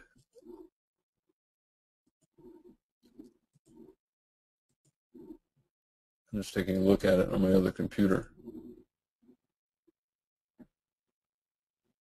Okay, so it looks like it's a couple of weeks. Um, no, no, not really. It's only actually this is only about a day or so uh, delayed. That looks like yesterday. Um, but anyway, you can see channels. It keeps breaking below trend lines. Um, what traders are deciding is um, was this a lower high major trend reversal? Uh, we had a bull channel, a bull trend. We broke below the trend line. We formed a two-legged uh, lower high, and um, the bears see this as a lower high major trend reversal. Uh, even though uh, the current rally is above this high, it's not above this high. So the bears still see this as a broad uh, bear trend, broad uh, bear channel. The bulls, on the other hand, see this sell-off as simply a wedge bull flag. So the bears have a good argument, and the bulls have a good argument. Whenever the bulls and bears both have a good argument, what does the market usually do? It goes sideways. And this is what I was talking about. The market was in a trading range here in 2011 uh, trading range here for several months, uh, beginning of 2012. And there's a big gap between the two trading ranges. The market usually fills in gaps, and uh, we've been going sideways here for about a month in this gray box, uh, the space between the uh, lower trading range and the upper trading range. And I don't see any reason for that to uh, change. I want to go back to this weekly chart again for a second. I mentioned in here, um, this is the, the cash index, but on the futures index, the E-mini, uh, there were 11 consecutive bull trend bars. Uh, that's never happened in the history of the E-mini, right? When something um, never happens, uh, has never happened, um, the E-mini has been around for 10 years or so, right? Um, when something happens and it's never happened before, it's probably climactic and unsustainable. And when that's the case, the market usually will correct for about 10 bars and two legs. And that's what we've had. We've had two, two legs down and about 10 bars. But when the market was doing this, I was telling people that this is really, really unusual. The market's never had 11 consecutive weeks up on the E-mini. So we'll probably have a bigger correction than what people think is likely. Anytime uh, the market has a, a climax, a buy climax or a sell climax, uh, the correction usually lasts for more bars and more legs than what traders think. You know, at the time when this was forming, um, you know, everyone on TV was saying buy, buy, buy, and I was saying, I don't know, I've never seen this before. Uh, it's probably not going to uh, last. We're probably going to enter a pretty uh, good-sized correction. 10-year notes, what's going on? This is the monthly chart of the 10-year notes. Okay, bull spike. We had two strong months up and a channel, right? Uh, we poked out of the top of the channel and we're reversing back down. So guess what I think the market will do? When the market uh, tries to break out of the top of a bull channel and reverses back down, uh, it usually tries to poke below the bottom of the channel. So I think uh, that sometime in the next uh, maybe five or six months, five or six bars, we'll poke below the bottom of this line. Uh, this is, I'm not saying anything profound here. You know, everyone in the world knows that uh, notes are way overdone, that we're channeling up, and that we've been very two-sided for about a year, and that will probably pull back. But when you look at it in terms of channels, we're trying to get a bull breakout of a bull channel. Market should uh, poke below the bottom of the channel. Also a spike in channel pattern, three pushes up, first push here. Second push 2010, third push. The third push has a nested three-push pattern in it, a smaller spike and three pushes. So it looks to me like the odds are pretty good that the notes will trade down um, you know, pretty soon. Uh, daily chart of the notes. We had a bull breakout. This is that monthly uh, trend line. Uh, you can see we broke above it and reversed down daily chart, we had a bull breakout of a bull channel, and we poked below the bottom of the channel. That was the minimum objective. tight trading range now. You can call it barbed wire. 50-50 uh, chance bull breakout, 50-50 chance uh, bear breakout. gold, everyone likes to talk about gold. Uh, you know, Peter Schiff all through here was talking about uh, gold, uh, you know, soaring, buy gold, buy gold, buy gold. And Dennis Gartman, same thing. And I'm looking at it and saying, I don't know. That's a bull breakout of a bull channel. Uh, two chances out of three, it's going to trade back into the channel and poke below the bottom of the channel. And that's what it ultimately did. Uh, big up, big down, big confusion, sideways. So um, when the market was doing this, I told uh, everyone within uh, uh, in, within my room that we probably were going to go sideways, which is what we've been doing. Where do we go from here? Uh, the bulls see a double top um, and major trend reversal. The bears see a triangle and a bull flag. To me, I see a trading range after a bull trend and uh, the breakout. Uh, probably 50-50 chance up, 50-50 chance down. Apple monthly chart, I mentioned this earlier. You draw this trend line, and then you create a parallel, and you drag it above swing highs, like here or here.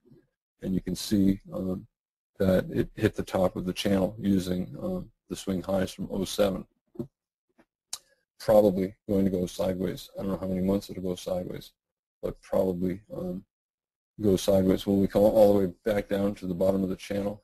Um, uh, at some point we will, but uh, to me I think it's more likely that we go sideways at least some. Uh, maybe we'll have one more uh, attempt up and then a bigger correction. But for Apple, I would not be shorting. Weekly chart, Apple. Um, there was a bull channel and we had a bull breakout of a bull channel. Um, uh, we had uh, another bull channel, the blue lines, and uh, we poked out of the top, reversed down, and came below the bottom of it, right? So you have a bull breakout of a bull channel, you always look for a pullback to the bottom. On the um, on the uh, weekly chart, I can draw a trend line or trend channel line across the tops. This green line, create a parallel and drag it down here, right? So um, to look for a target on the downside, uh, to me it looks like you know we're, we might be creating this green channel. We don't know yet, but if we do, uh, the target is the bottom of the channel, which is this green line, and right now it's around 500. Okay, um, my voice is running out. Um, if you want more information, you can go to my website. There's a lot of information there, brookspriceaction.com. And I'm going to take questions in a moment. Uh, I'm going to turn my mic off and go get uh, another glass of water. I've been talking all day, and I've been talking in here for 90 minutes, and uh, I drank all my water, so I'll be back in about a minute. All right. Thanks, Al. All right, so why, while Al is getting some water, uh, if anyone has questions, go ahead and type them down. We'll do our best to get everyone's questions answered in just a few minutes.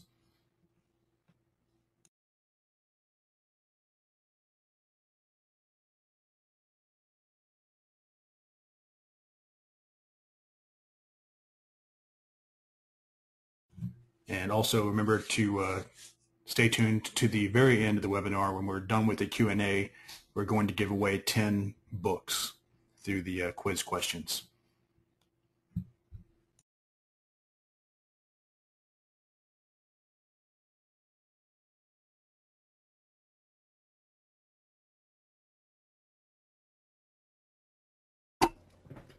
Um, okay, I'm back. All right, Al. Uh, so I've got, uh, well, thank you, first of all, for the presentation. I thought it was terrific. I've got uh, just a few questions of my own, and then I'll read some questions from the audience. So my first question is, do you have any plans for book number five? And if so, what topic do you believe that you'll talk about? Um, yeah, to, well, that's funny that you ask. I've already written book number five, but um, it has nothing to do with trading. It's a, a, a novel. And I'm uh, it's it's finished. Now I'm, just trying to deal with agents to uh, uh, to get it published. and then beyond that, as far as trading goes, if I do another trading book, uh, it'll be entirely on um, you know the kinds of things that I talked about today. Um, you know, if, if the market's in a, a channel, this is the different ways to enter and um, and the different ways to place stops. If the market's in the spike phase of a, a trend, um, here are examples of different ways to enter and different places to place stops.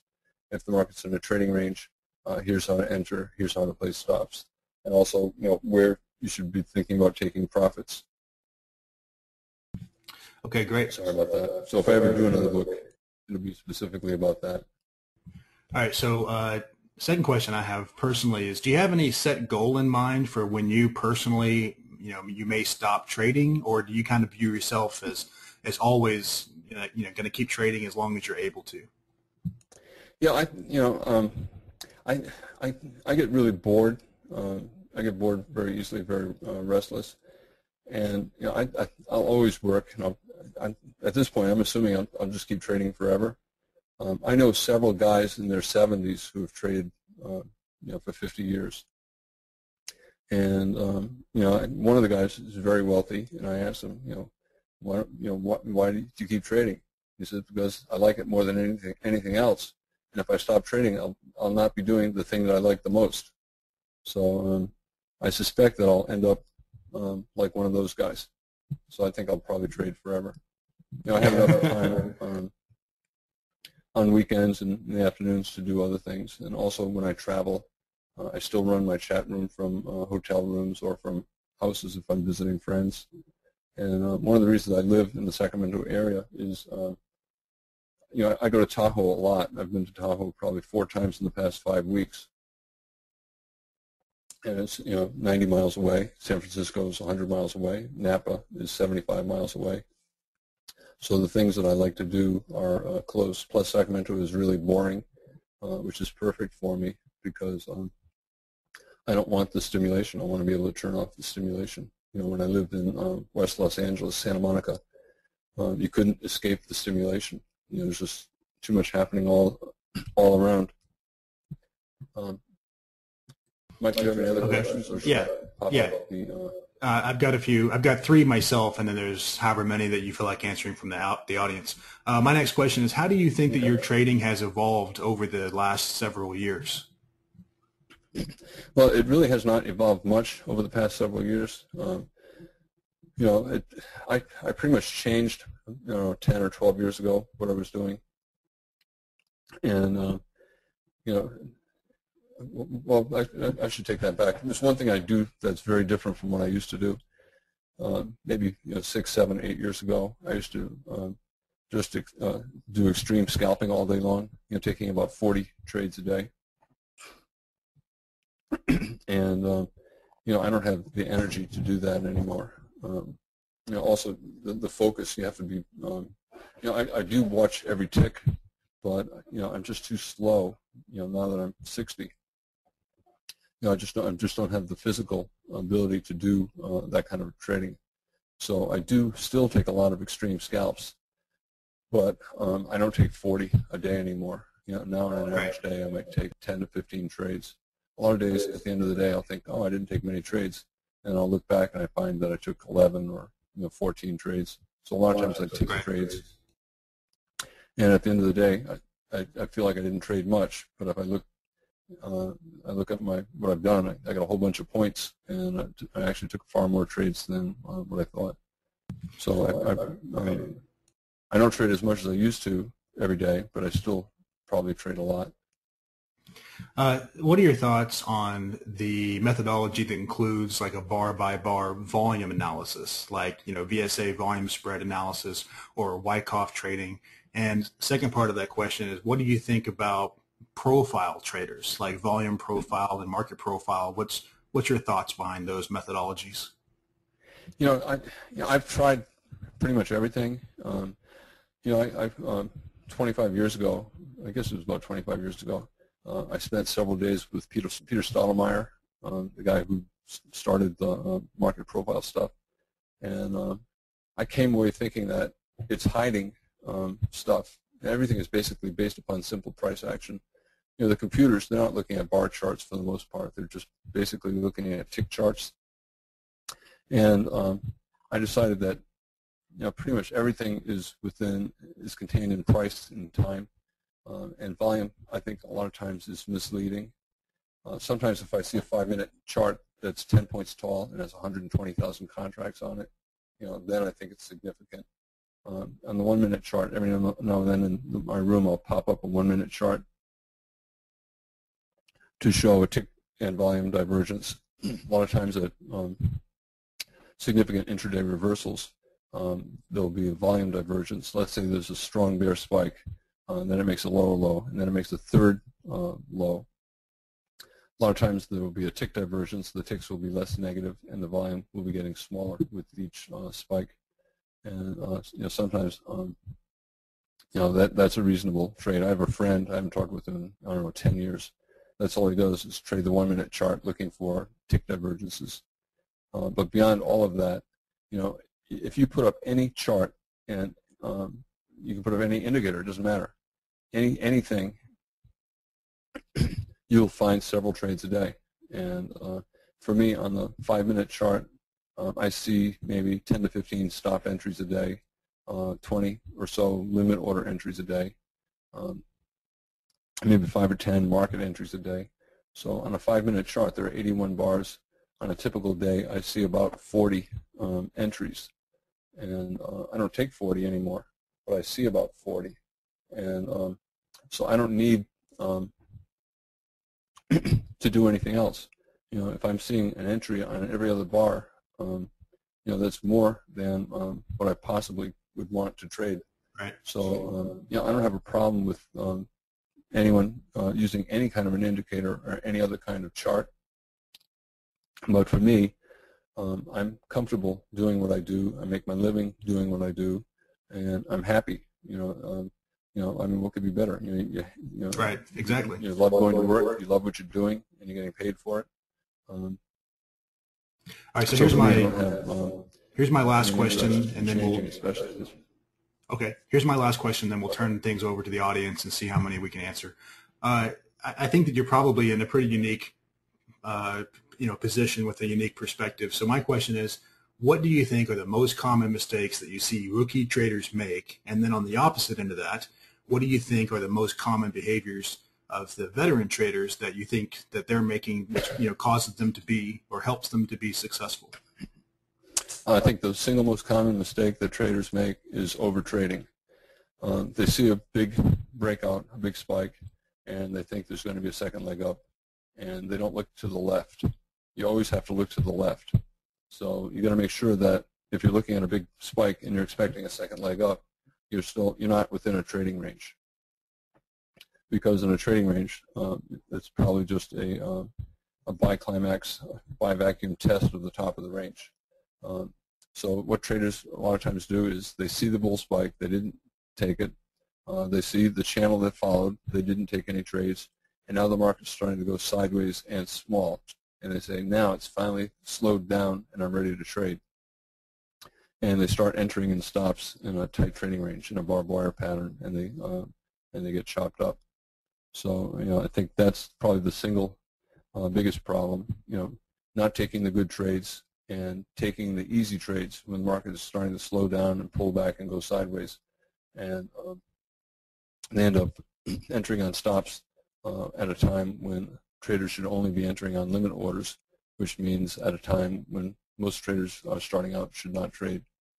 And I think the the flip side of that is I think um, the thing that a successful trader does, every consistently successful trader does, is they have a basket of uh, techniques that they use to enter the market, and they patiently wait until uh, they see a setup that uh, meets their criteria. In other words, they don't overtrade. They don't say, well, gosh, I haven't had a good setup in an hour or two. You know, this one's got, got to be close enough. No, you know, the market never has to do anything. And uh, a lot of times in my room, you know, I'll, I'll go for an hour or more uh, saying, well, this is a setup, but, you know, it's really not, you know, what I want. This is another setup. It's really not what I want. And, um, and usually it's in the middle of the day or the end of the day when I'm starting to get tired and uh, I, I, get extra particular. Uh, but, um, you know, uh, I'm in this to make money. I don't, I don't ever want to give anything back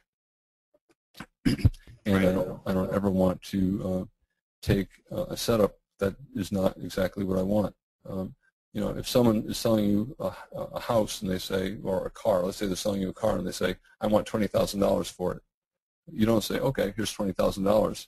You know, you decide, do I, is, is, is, do I want to spend $20,000 for this car? You know, you, you don't take a setup just because the market is offering it.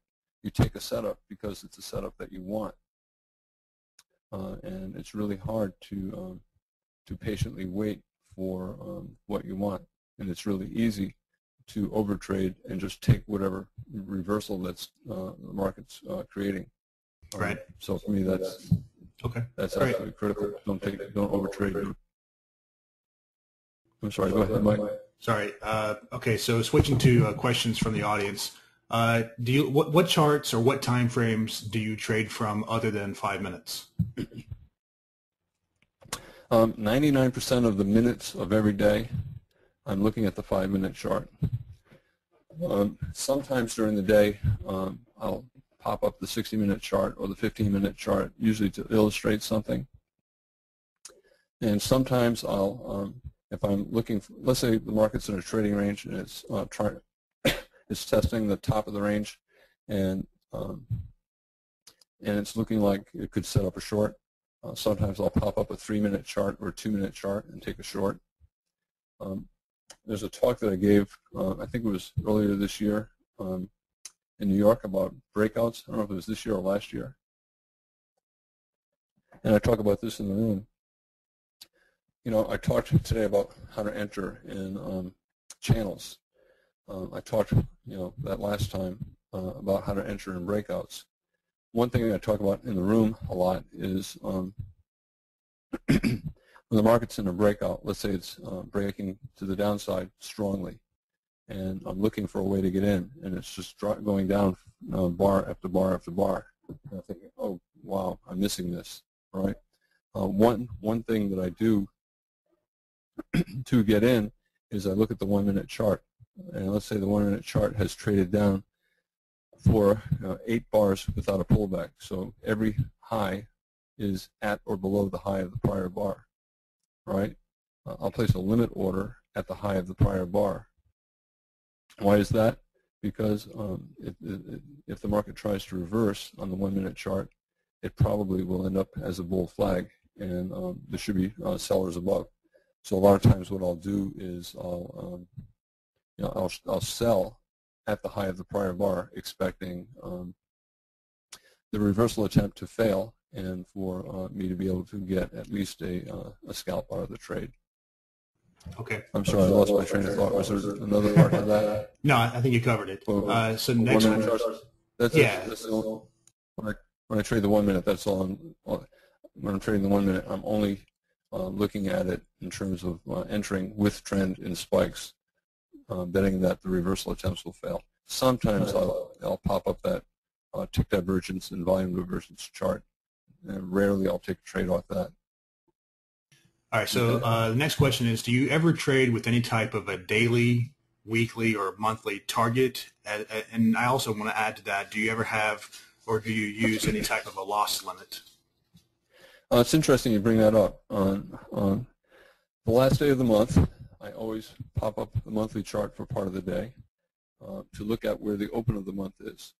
Uh, for example, on Friday, uh, last day of the week, right?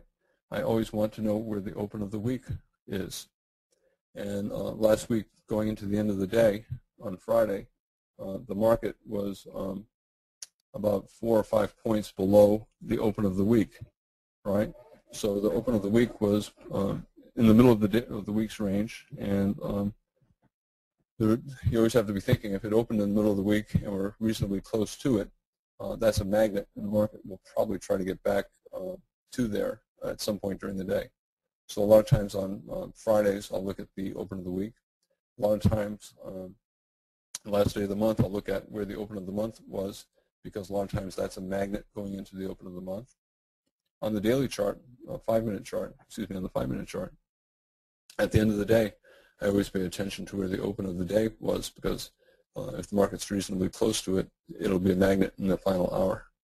But so yes, I I, I do sometimes look at um, weekly and monthly charts um, but mostly for um, at the end of the at the end of the week, at the end of the month, I want to pay attention to where the um, um, open was.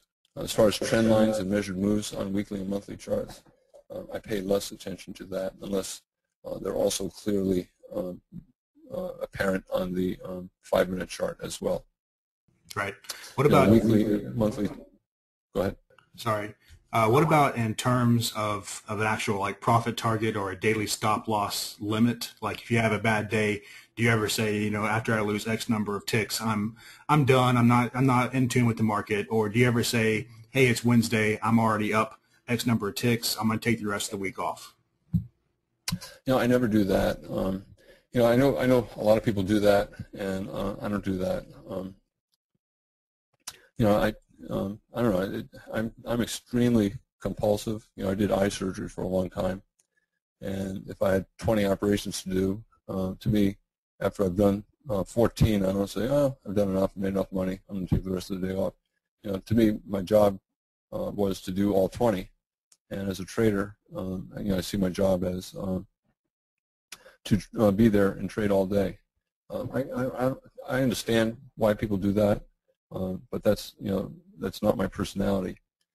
And I always try to stay in my comfort zone. And I always try to do um, you know things that that suit my personality. And uh, you know, being extremely disciplined and extremely compulsive, um, you know, uh, and, you know that's that's my nature. So um, I usually don't break my routines and say, um, okay, because of this, I'm I'm now going to do something different from what I normally do.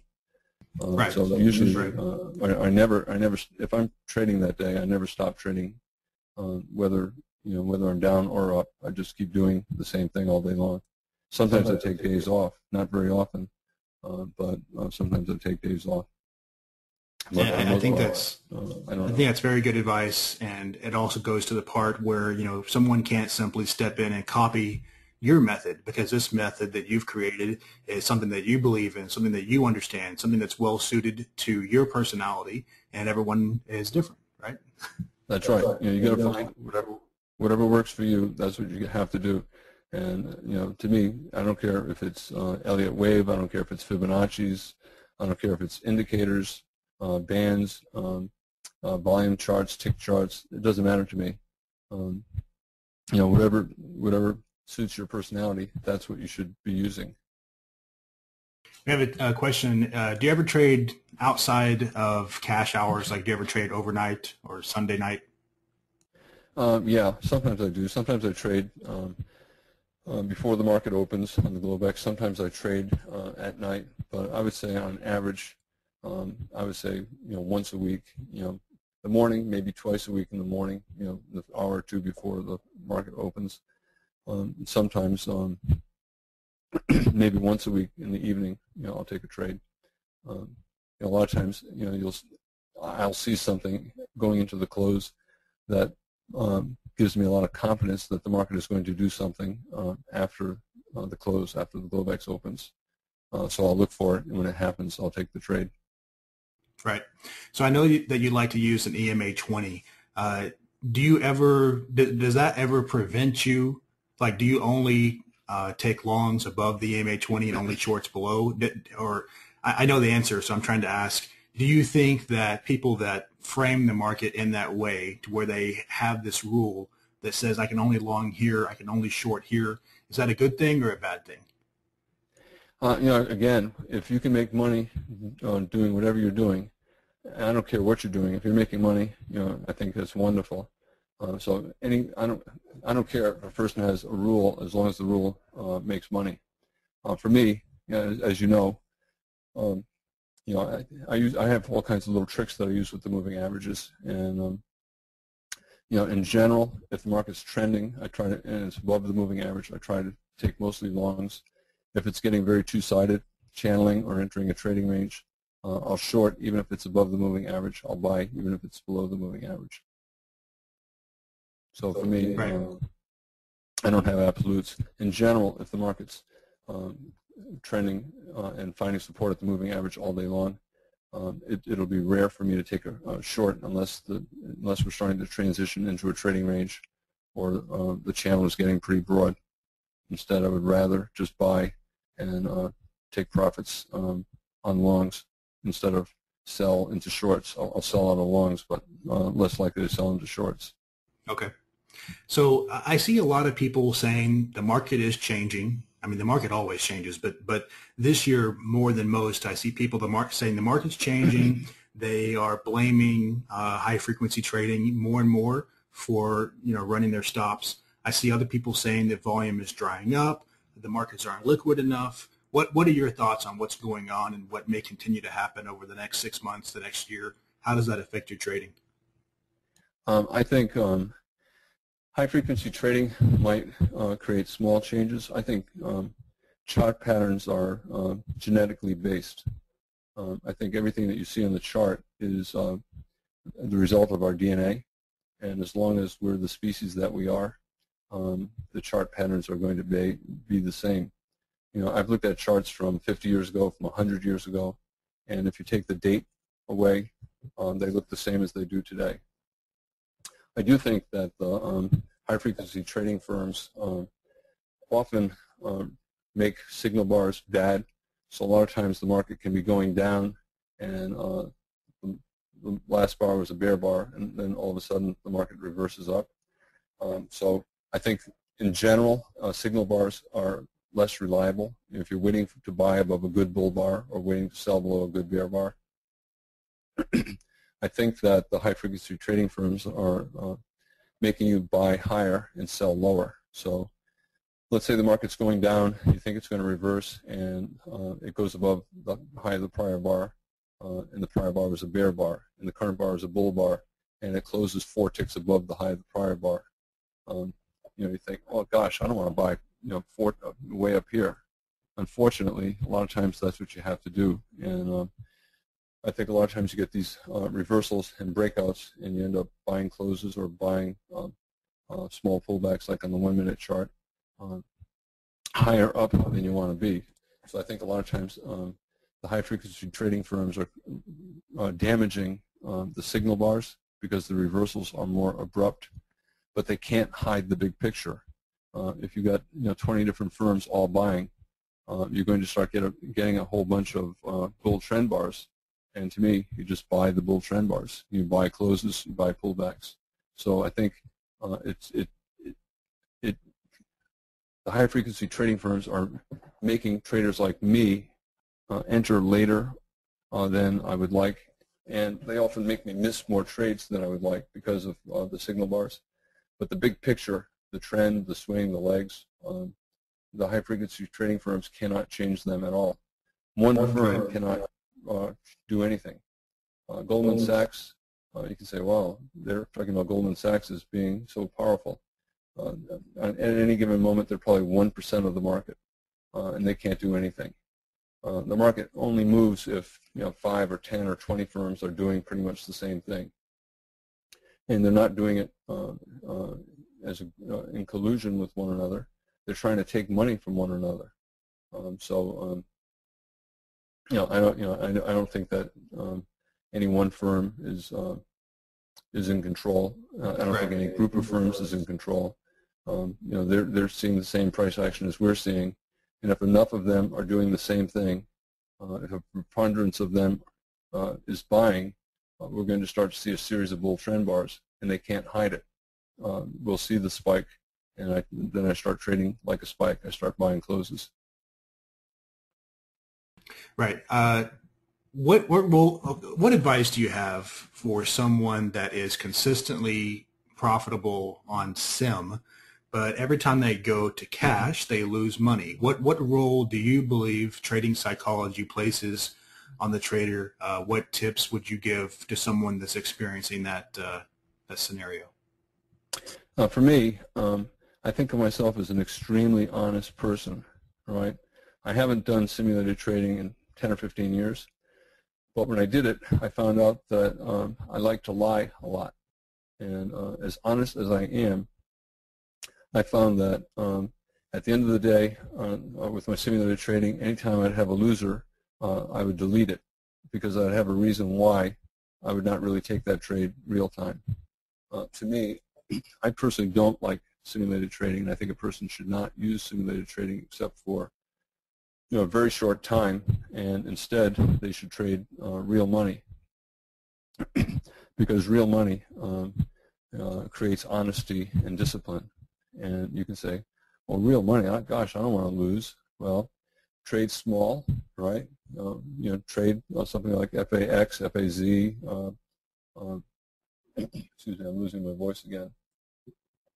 Uh, FC, excuse me, XIV, VXX, you know, and, and, or the Qs, or some stocks that are, are not high priced, like Bank of America or even Citigroup or Hewlett Packard, Intel, Cisco. There are a whole bunch of stocks that you can trade and just trade, you know, 100 uh, shares, right?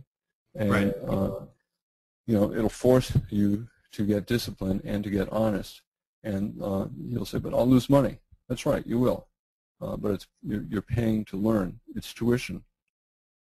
Right. And uh, so anyway, so I, I think traders should not, if they want to learn how to trade, they got to get away from simulation. As soon as they have some sense of what they're doing, I think they should trade real money and just expect to lose for a while.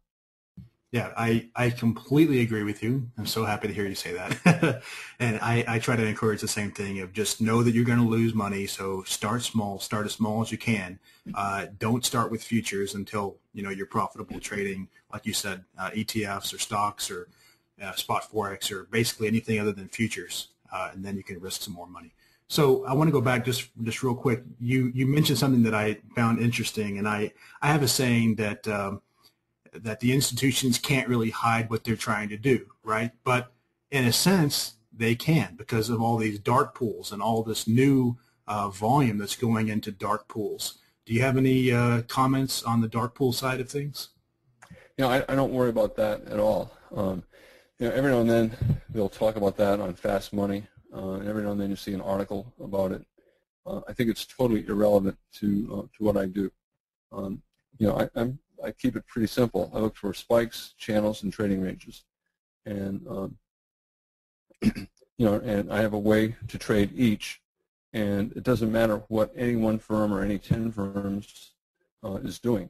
You know, if I see a spike, I always trade it the same way. If I see a channel, I always trade it the same way. If I see a trading range, I always trade it the same way and uh, you know I just don't worry about um, any of any of that stuff, any of the computerized stuff, any of the hidden stuff. Um, to me, I, I, you know I, I am making money, right? So um, right. okay, know, so not, you know they're not uh, they're not impacting me at all. Uh, so I, I, don't you know I think people are always um, they always want to believe. You know they they always want uh, a guru to teach them something, tell them to buy this, sell that, uh, they always want someone to blame. Um, you know, I, I really learned how to trade well, but I lost because um, my broker has bad software. I lost because, uh, you know, there was some news item. I lost because uh, the dark pools and the high uh, frequency trading firms and the hedge funds are stealing my money. Um, you know, to me, that's, you know, that's, you're just fooling yourself. Uh, to me, uh, trading is simple. Uh, at the end of the day, if your account has more money in it, you did the right thing. If it has less money in it, you made a bunch of mistakes. And right. it's you. It's not. It's not any of these hidden forces. And you don't need some other, you know, good angel, some other good hidden force uh, to help you make money. You only make money if you're doing the right thing. And if you're losing money, it's because you are doing the wrong thing. It's not because of, um, you know, all of these things that they talk about on television and in the news. Right. I, I completely agree. Uh, part of my signature that I make on every single post on the forum says you have to accept responsibility and stop looking elsewhere to explain away, you know, why you lost. And I, I see that happen all the time. So I, uh, I'm glad that, that uh, you're saying something similar, and I hope people will really pay attention to that as great advice. Uh, I'm, I'm going to ask one final question, and then I know that you're losing your voice. We're at two hours, so we'll make this the last question. And then when we're done with this, uh, Al's going to step away, but we will uh, continue with the 10 quiz questions. All right, so the, the last question is Ashley is wanting to know, can you talk about your option trades? And do you trade options based on hourly, dailies, weeklies? Uh, do you look for reversals? Do you look for similar setups that you do with your futures trades, or do you handle them differently? Um, I, in, the, in my third of the three books, I talk a lot about that. In general, uh, most days I don't trade options. When I do trade options, I usually trade them based upon the daily chart or the 60-minute chart. Sometimes um, I'll trade them on the five-minute chart. For example, if uh, Goldman Sachs is, uh, has gone up for the past uh, you know, seven or eight bars, uh, I may just go ahead and buy calls and then um, you know look at it every you know hour or so. But um, you know, for the most part, I'm uh, trading out because you got the issue of the bid-ask spread on options uh, and plus commissions, you know, it, it adds up. So you, you, need more points to make it worthwhile, uh, more ticks to make it worthwhile. And uh, I think it's hard to do it if you're trading the five-minute chart. If you trade the five-minute chart, let's say you buy a, a spider um, option, and the spider goes up a point, uh, you think, oh wow, um, you know, um, the option should go, the call should go up 10 cents, and the call goes up three cents. And you say, wait a minute, that's not fair. That's right, it's not fair, but that's that's reality. Uh, option pricing is not hand in hand with uh, the underlying, uh, and there are reasons why sometimes um, you know you think the option should go up you know five or six cents and it only goes up uh, two cents. It's because the institutions think that um, you know the underlying is uh, overdone. So, but anyway, because of those problems, I usually don't trade options on the five-minute chart. Sometimes I do if, if, if, if I think there are big, big moves. Uh, but for the most part, I'm, uh, I'm trading options based on the 60-minute chart and the daily chart. And if uh, two hours after I enter, uh, I get a big move, like the size of the move I was anticipating, I'll just exit completely and not hold it overnight or hold it for two or three days like I initially planned. Anytime I get an, a gift in options, I take it because uh, options uh, are uh, very good at taking back uh, big open profits. They disappear really, really fast. So if I if I get a big open profit very quickly, I just take it and walk away. Okay. All right. So I uh, we're going to go to the 10 quiz questions and give away 10 books in just a moment. But first, I wanted to say a big thank you, as always, to Al for his time today. And if you have not checked out the three webinars that he's done previously on BMT, I definitely encourage you to do so. Um, and we'll be sure to have Al back in the coming months uh, to talk about some, some new uh, trades and new setups uh, later this year. All right, so if you guys have more questions or you want to, uh, to join Al's room, it's brookspriceaction.com. You can see it right there on your screen, and you can get a hold of, of Al through his website there. All right, so thank you, Al. Really appreciate your time. All right, I appreciate it, Mike. All right, guys. So, yeah, thank you, Al. All right, guys, so give me one second. I'm going to take back control and we'll handle the quiz questions here.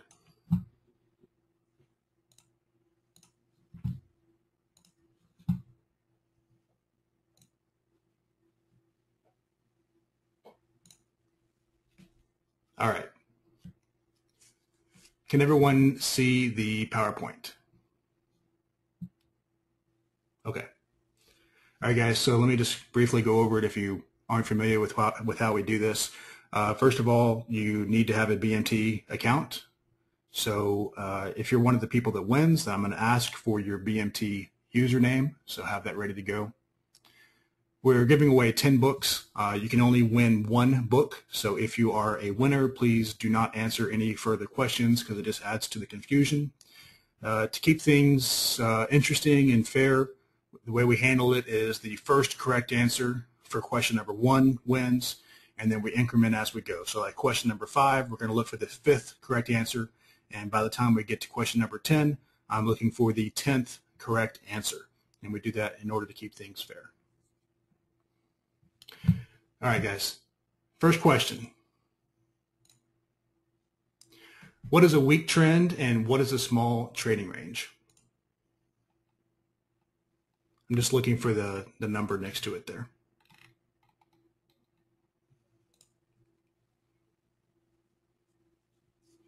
All right, I need everyone to stop typing, please, and it's going to take me just a minute to find the answer. Uh, the correct answer is 30, which I, am just randomly numbering these to try to prevent cheating, uh, channel and pullback. And I'm looking for the first person that answered, which is Jerry Douglas. Jerry Douglas, I need your BMT username, please.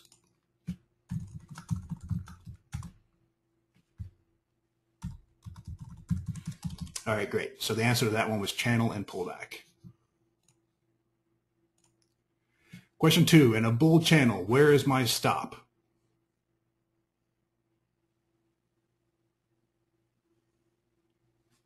All right, guys, uh, stop typing. We already have the answer. Looking for the second person that answered correctly. And the answer is uh, 25. It depends on whether the trade is a swing or a scalp. And the second person is Frank Zappa. Frank, I need your BMT username, please.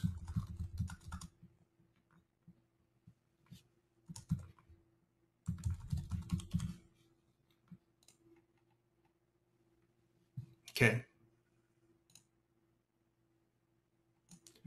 Question three, over time, how do channels evolve? They usually become.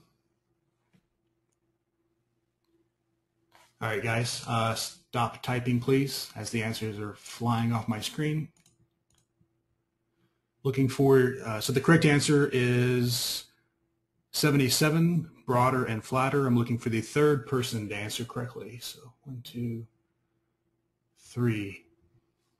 Uh, KJ. KJ, I need your BMT username, please. Okay.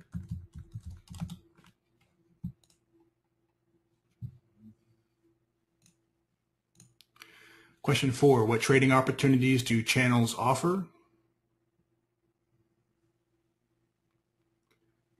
All right, guys, stop typing, please. We've got the answer. Uh, the answer is item 50. The reward is large relative to the risk.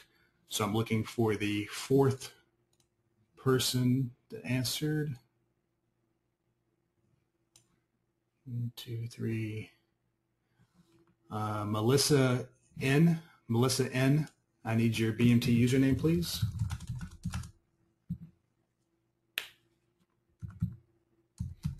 All right, great.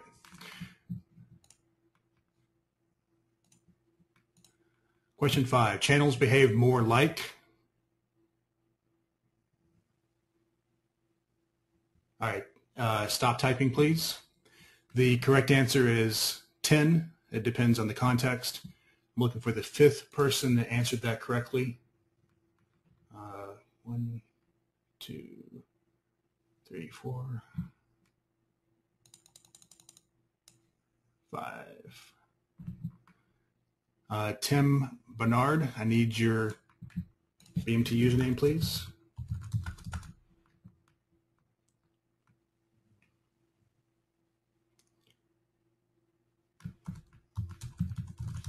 All right. Going to question six.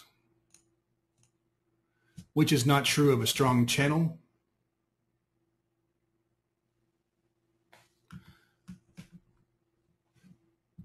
All right, uh, you can stop typing. We've got the winner.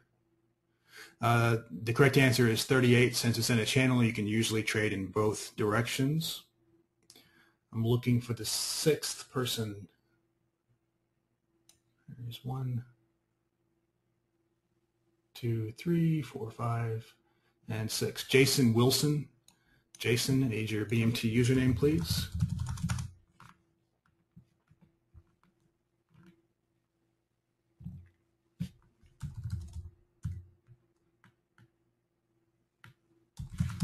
Okay. Question seven. What is common of weak channels?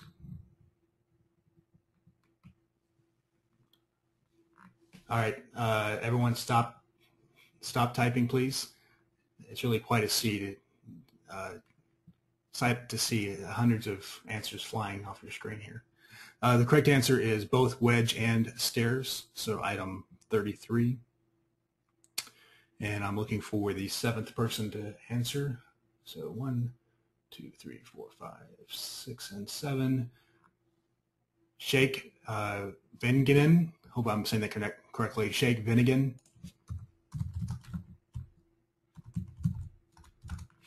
Need your BMT username, please. Okay. Question eight. What is not true of channels?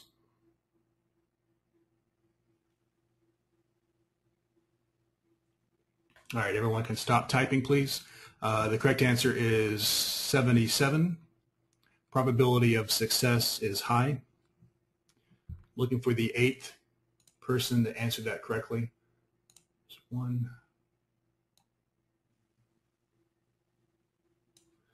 two, three, four, five, six, seven, and eight.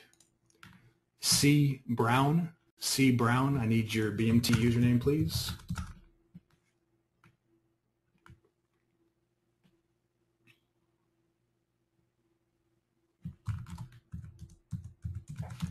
Okay, going to question nine. What is the first target of a reversal from breakout of a channel?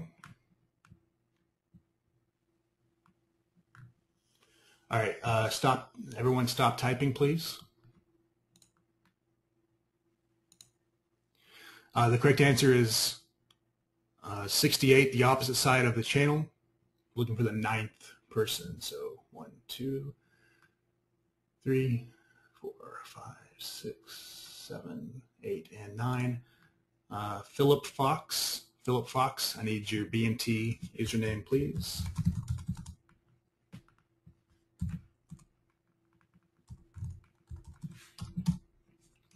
All right, great. And here's the last one. What are reasonable trades in a strong bull channel? All right, everyone can stop typing, please. Everyone can stop. All right, the correct answer is 15, all of the above. I'm looking for the 10th person. 10th person. One, two, three, four, five, six, seven, eight, nine, and 10 is Ed Rabin. Ed Rabin, need your BMT username, please. All right, so congratulations to the winners of the 10 books. You guys will be able to choose which of the three newest books that Al has out. I will contact you in a few minutes on the forum.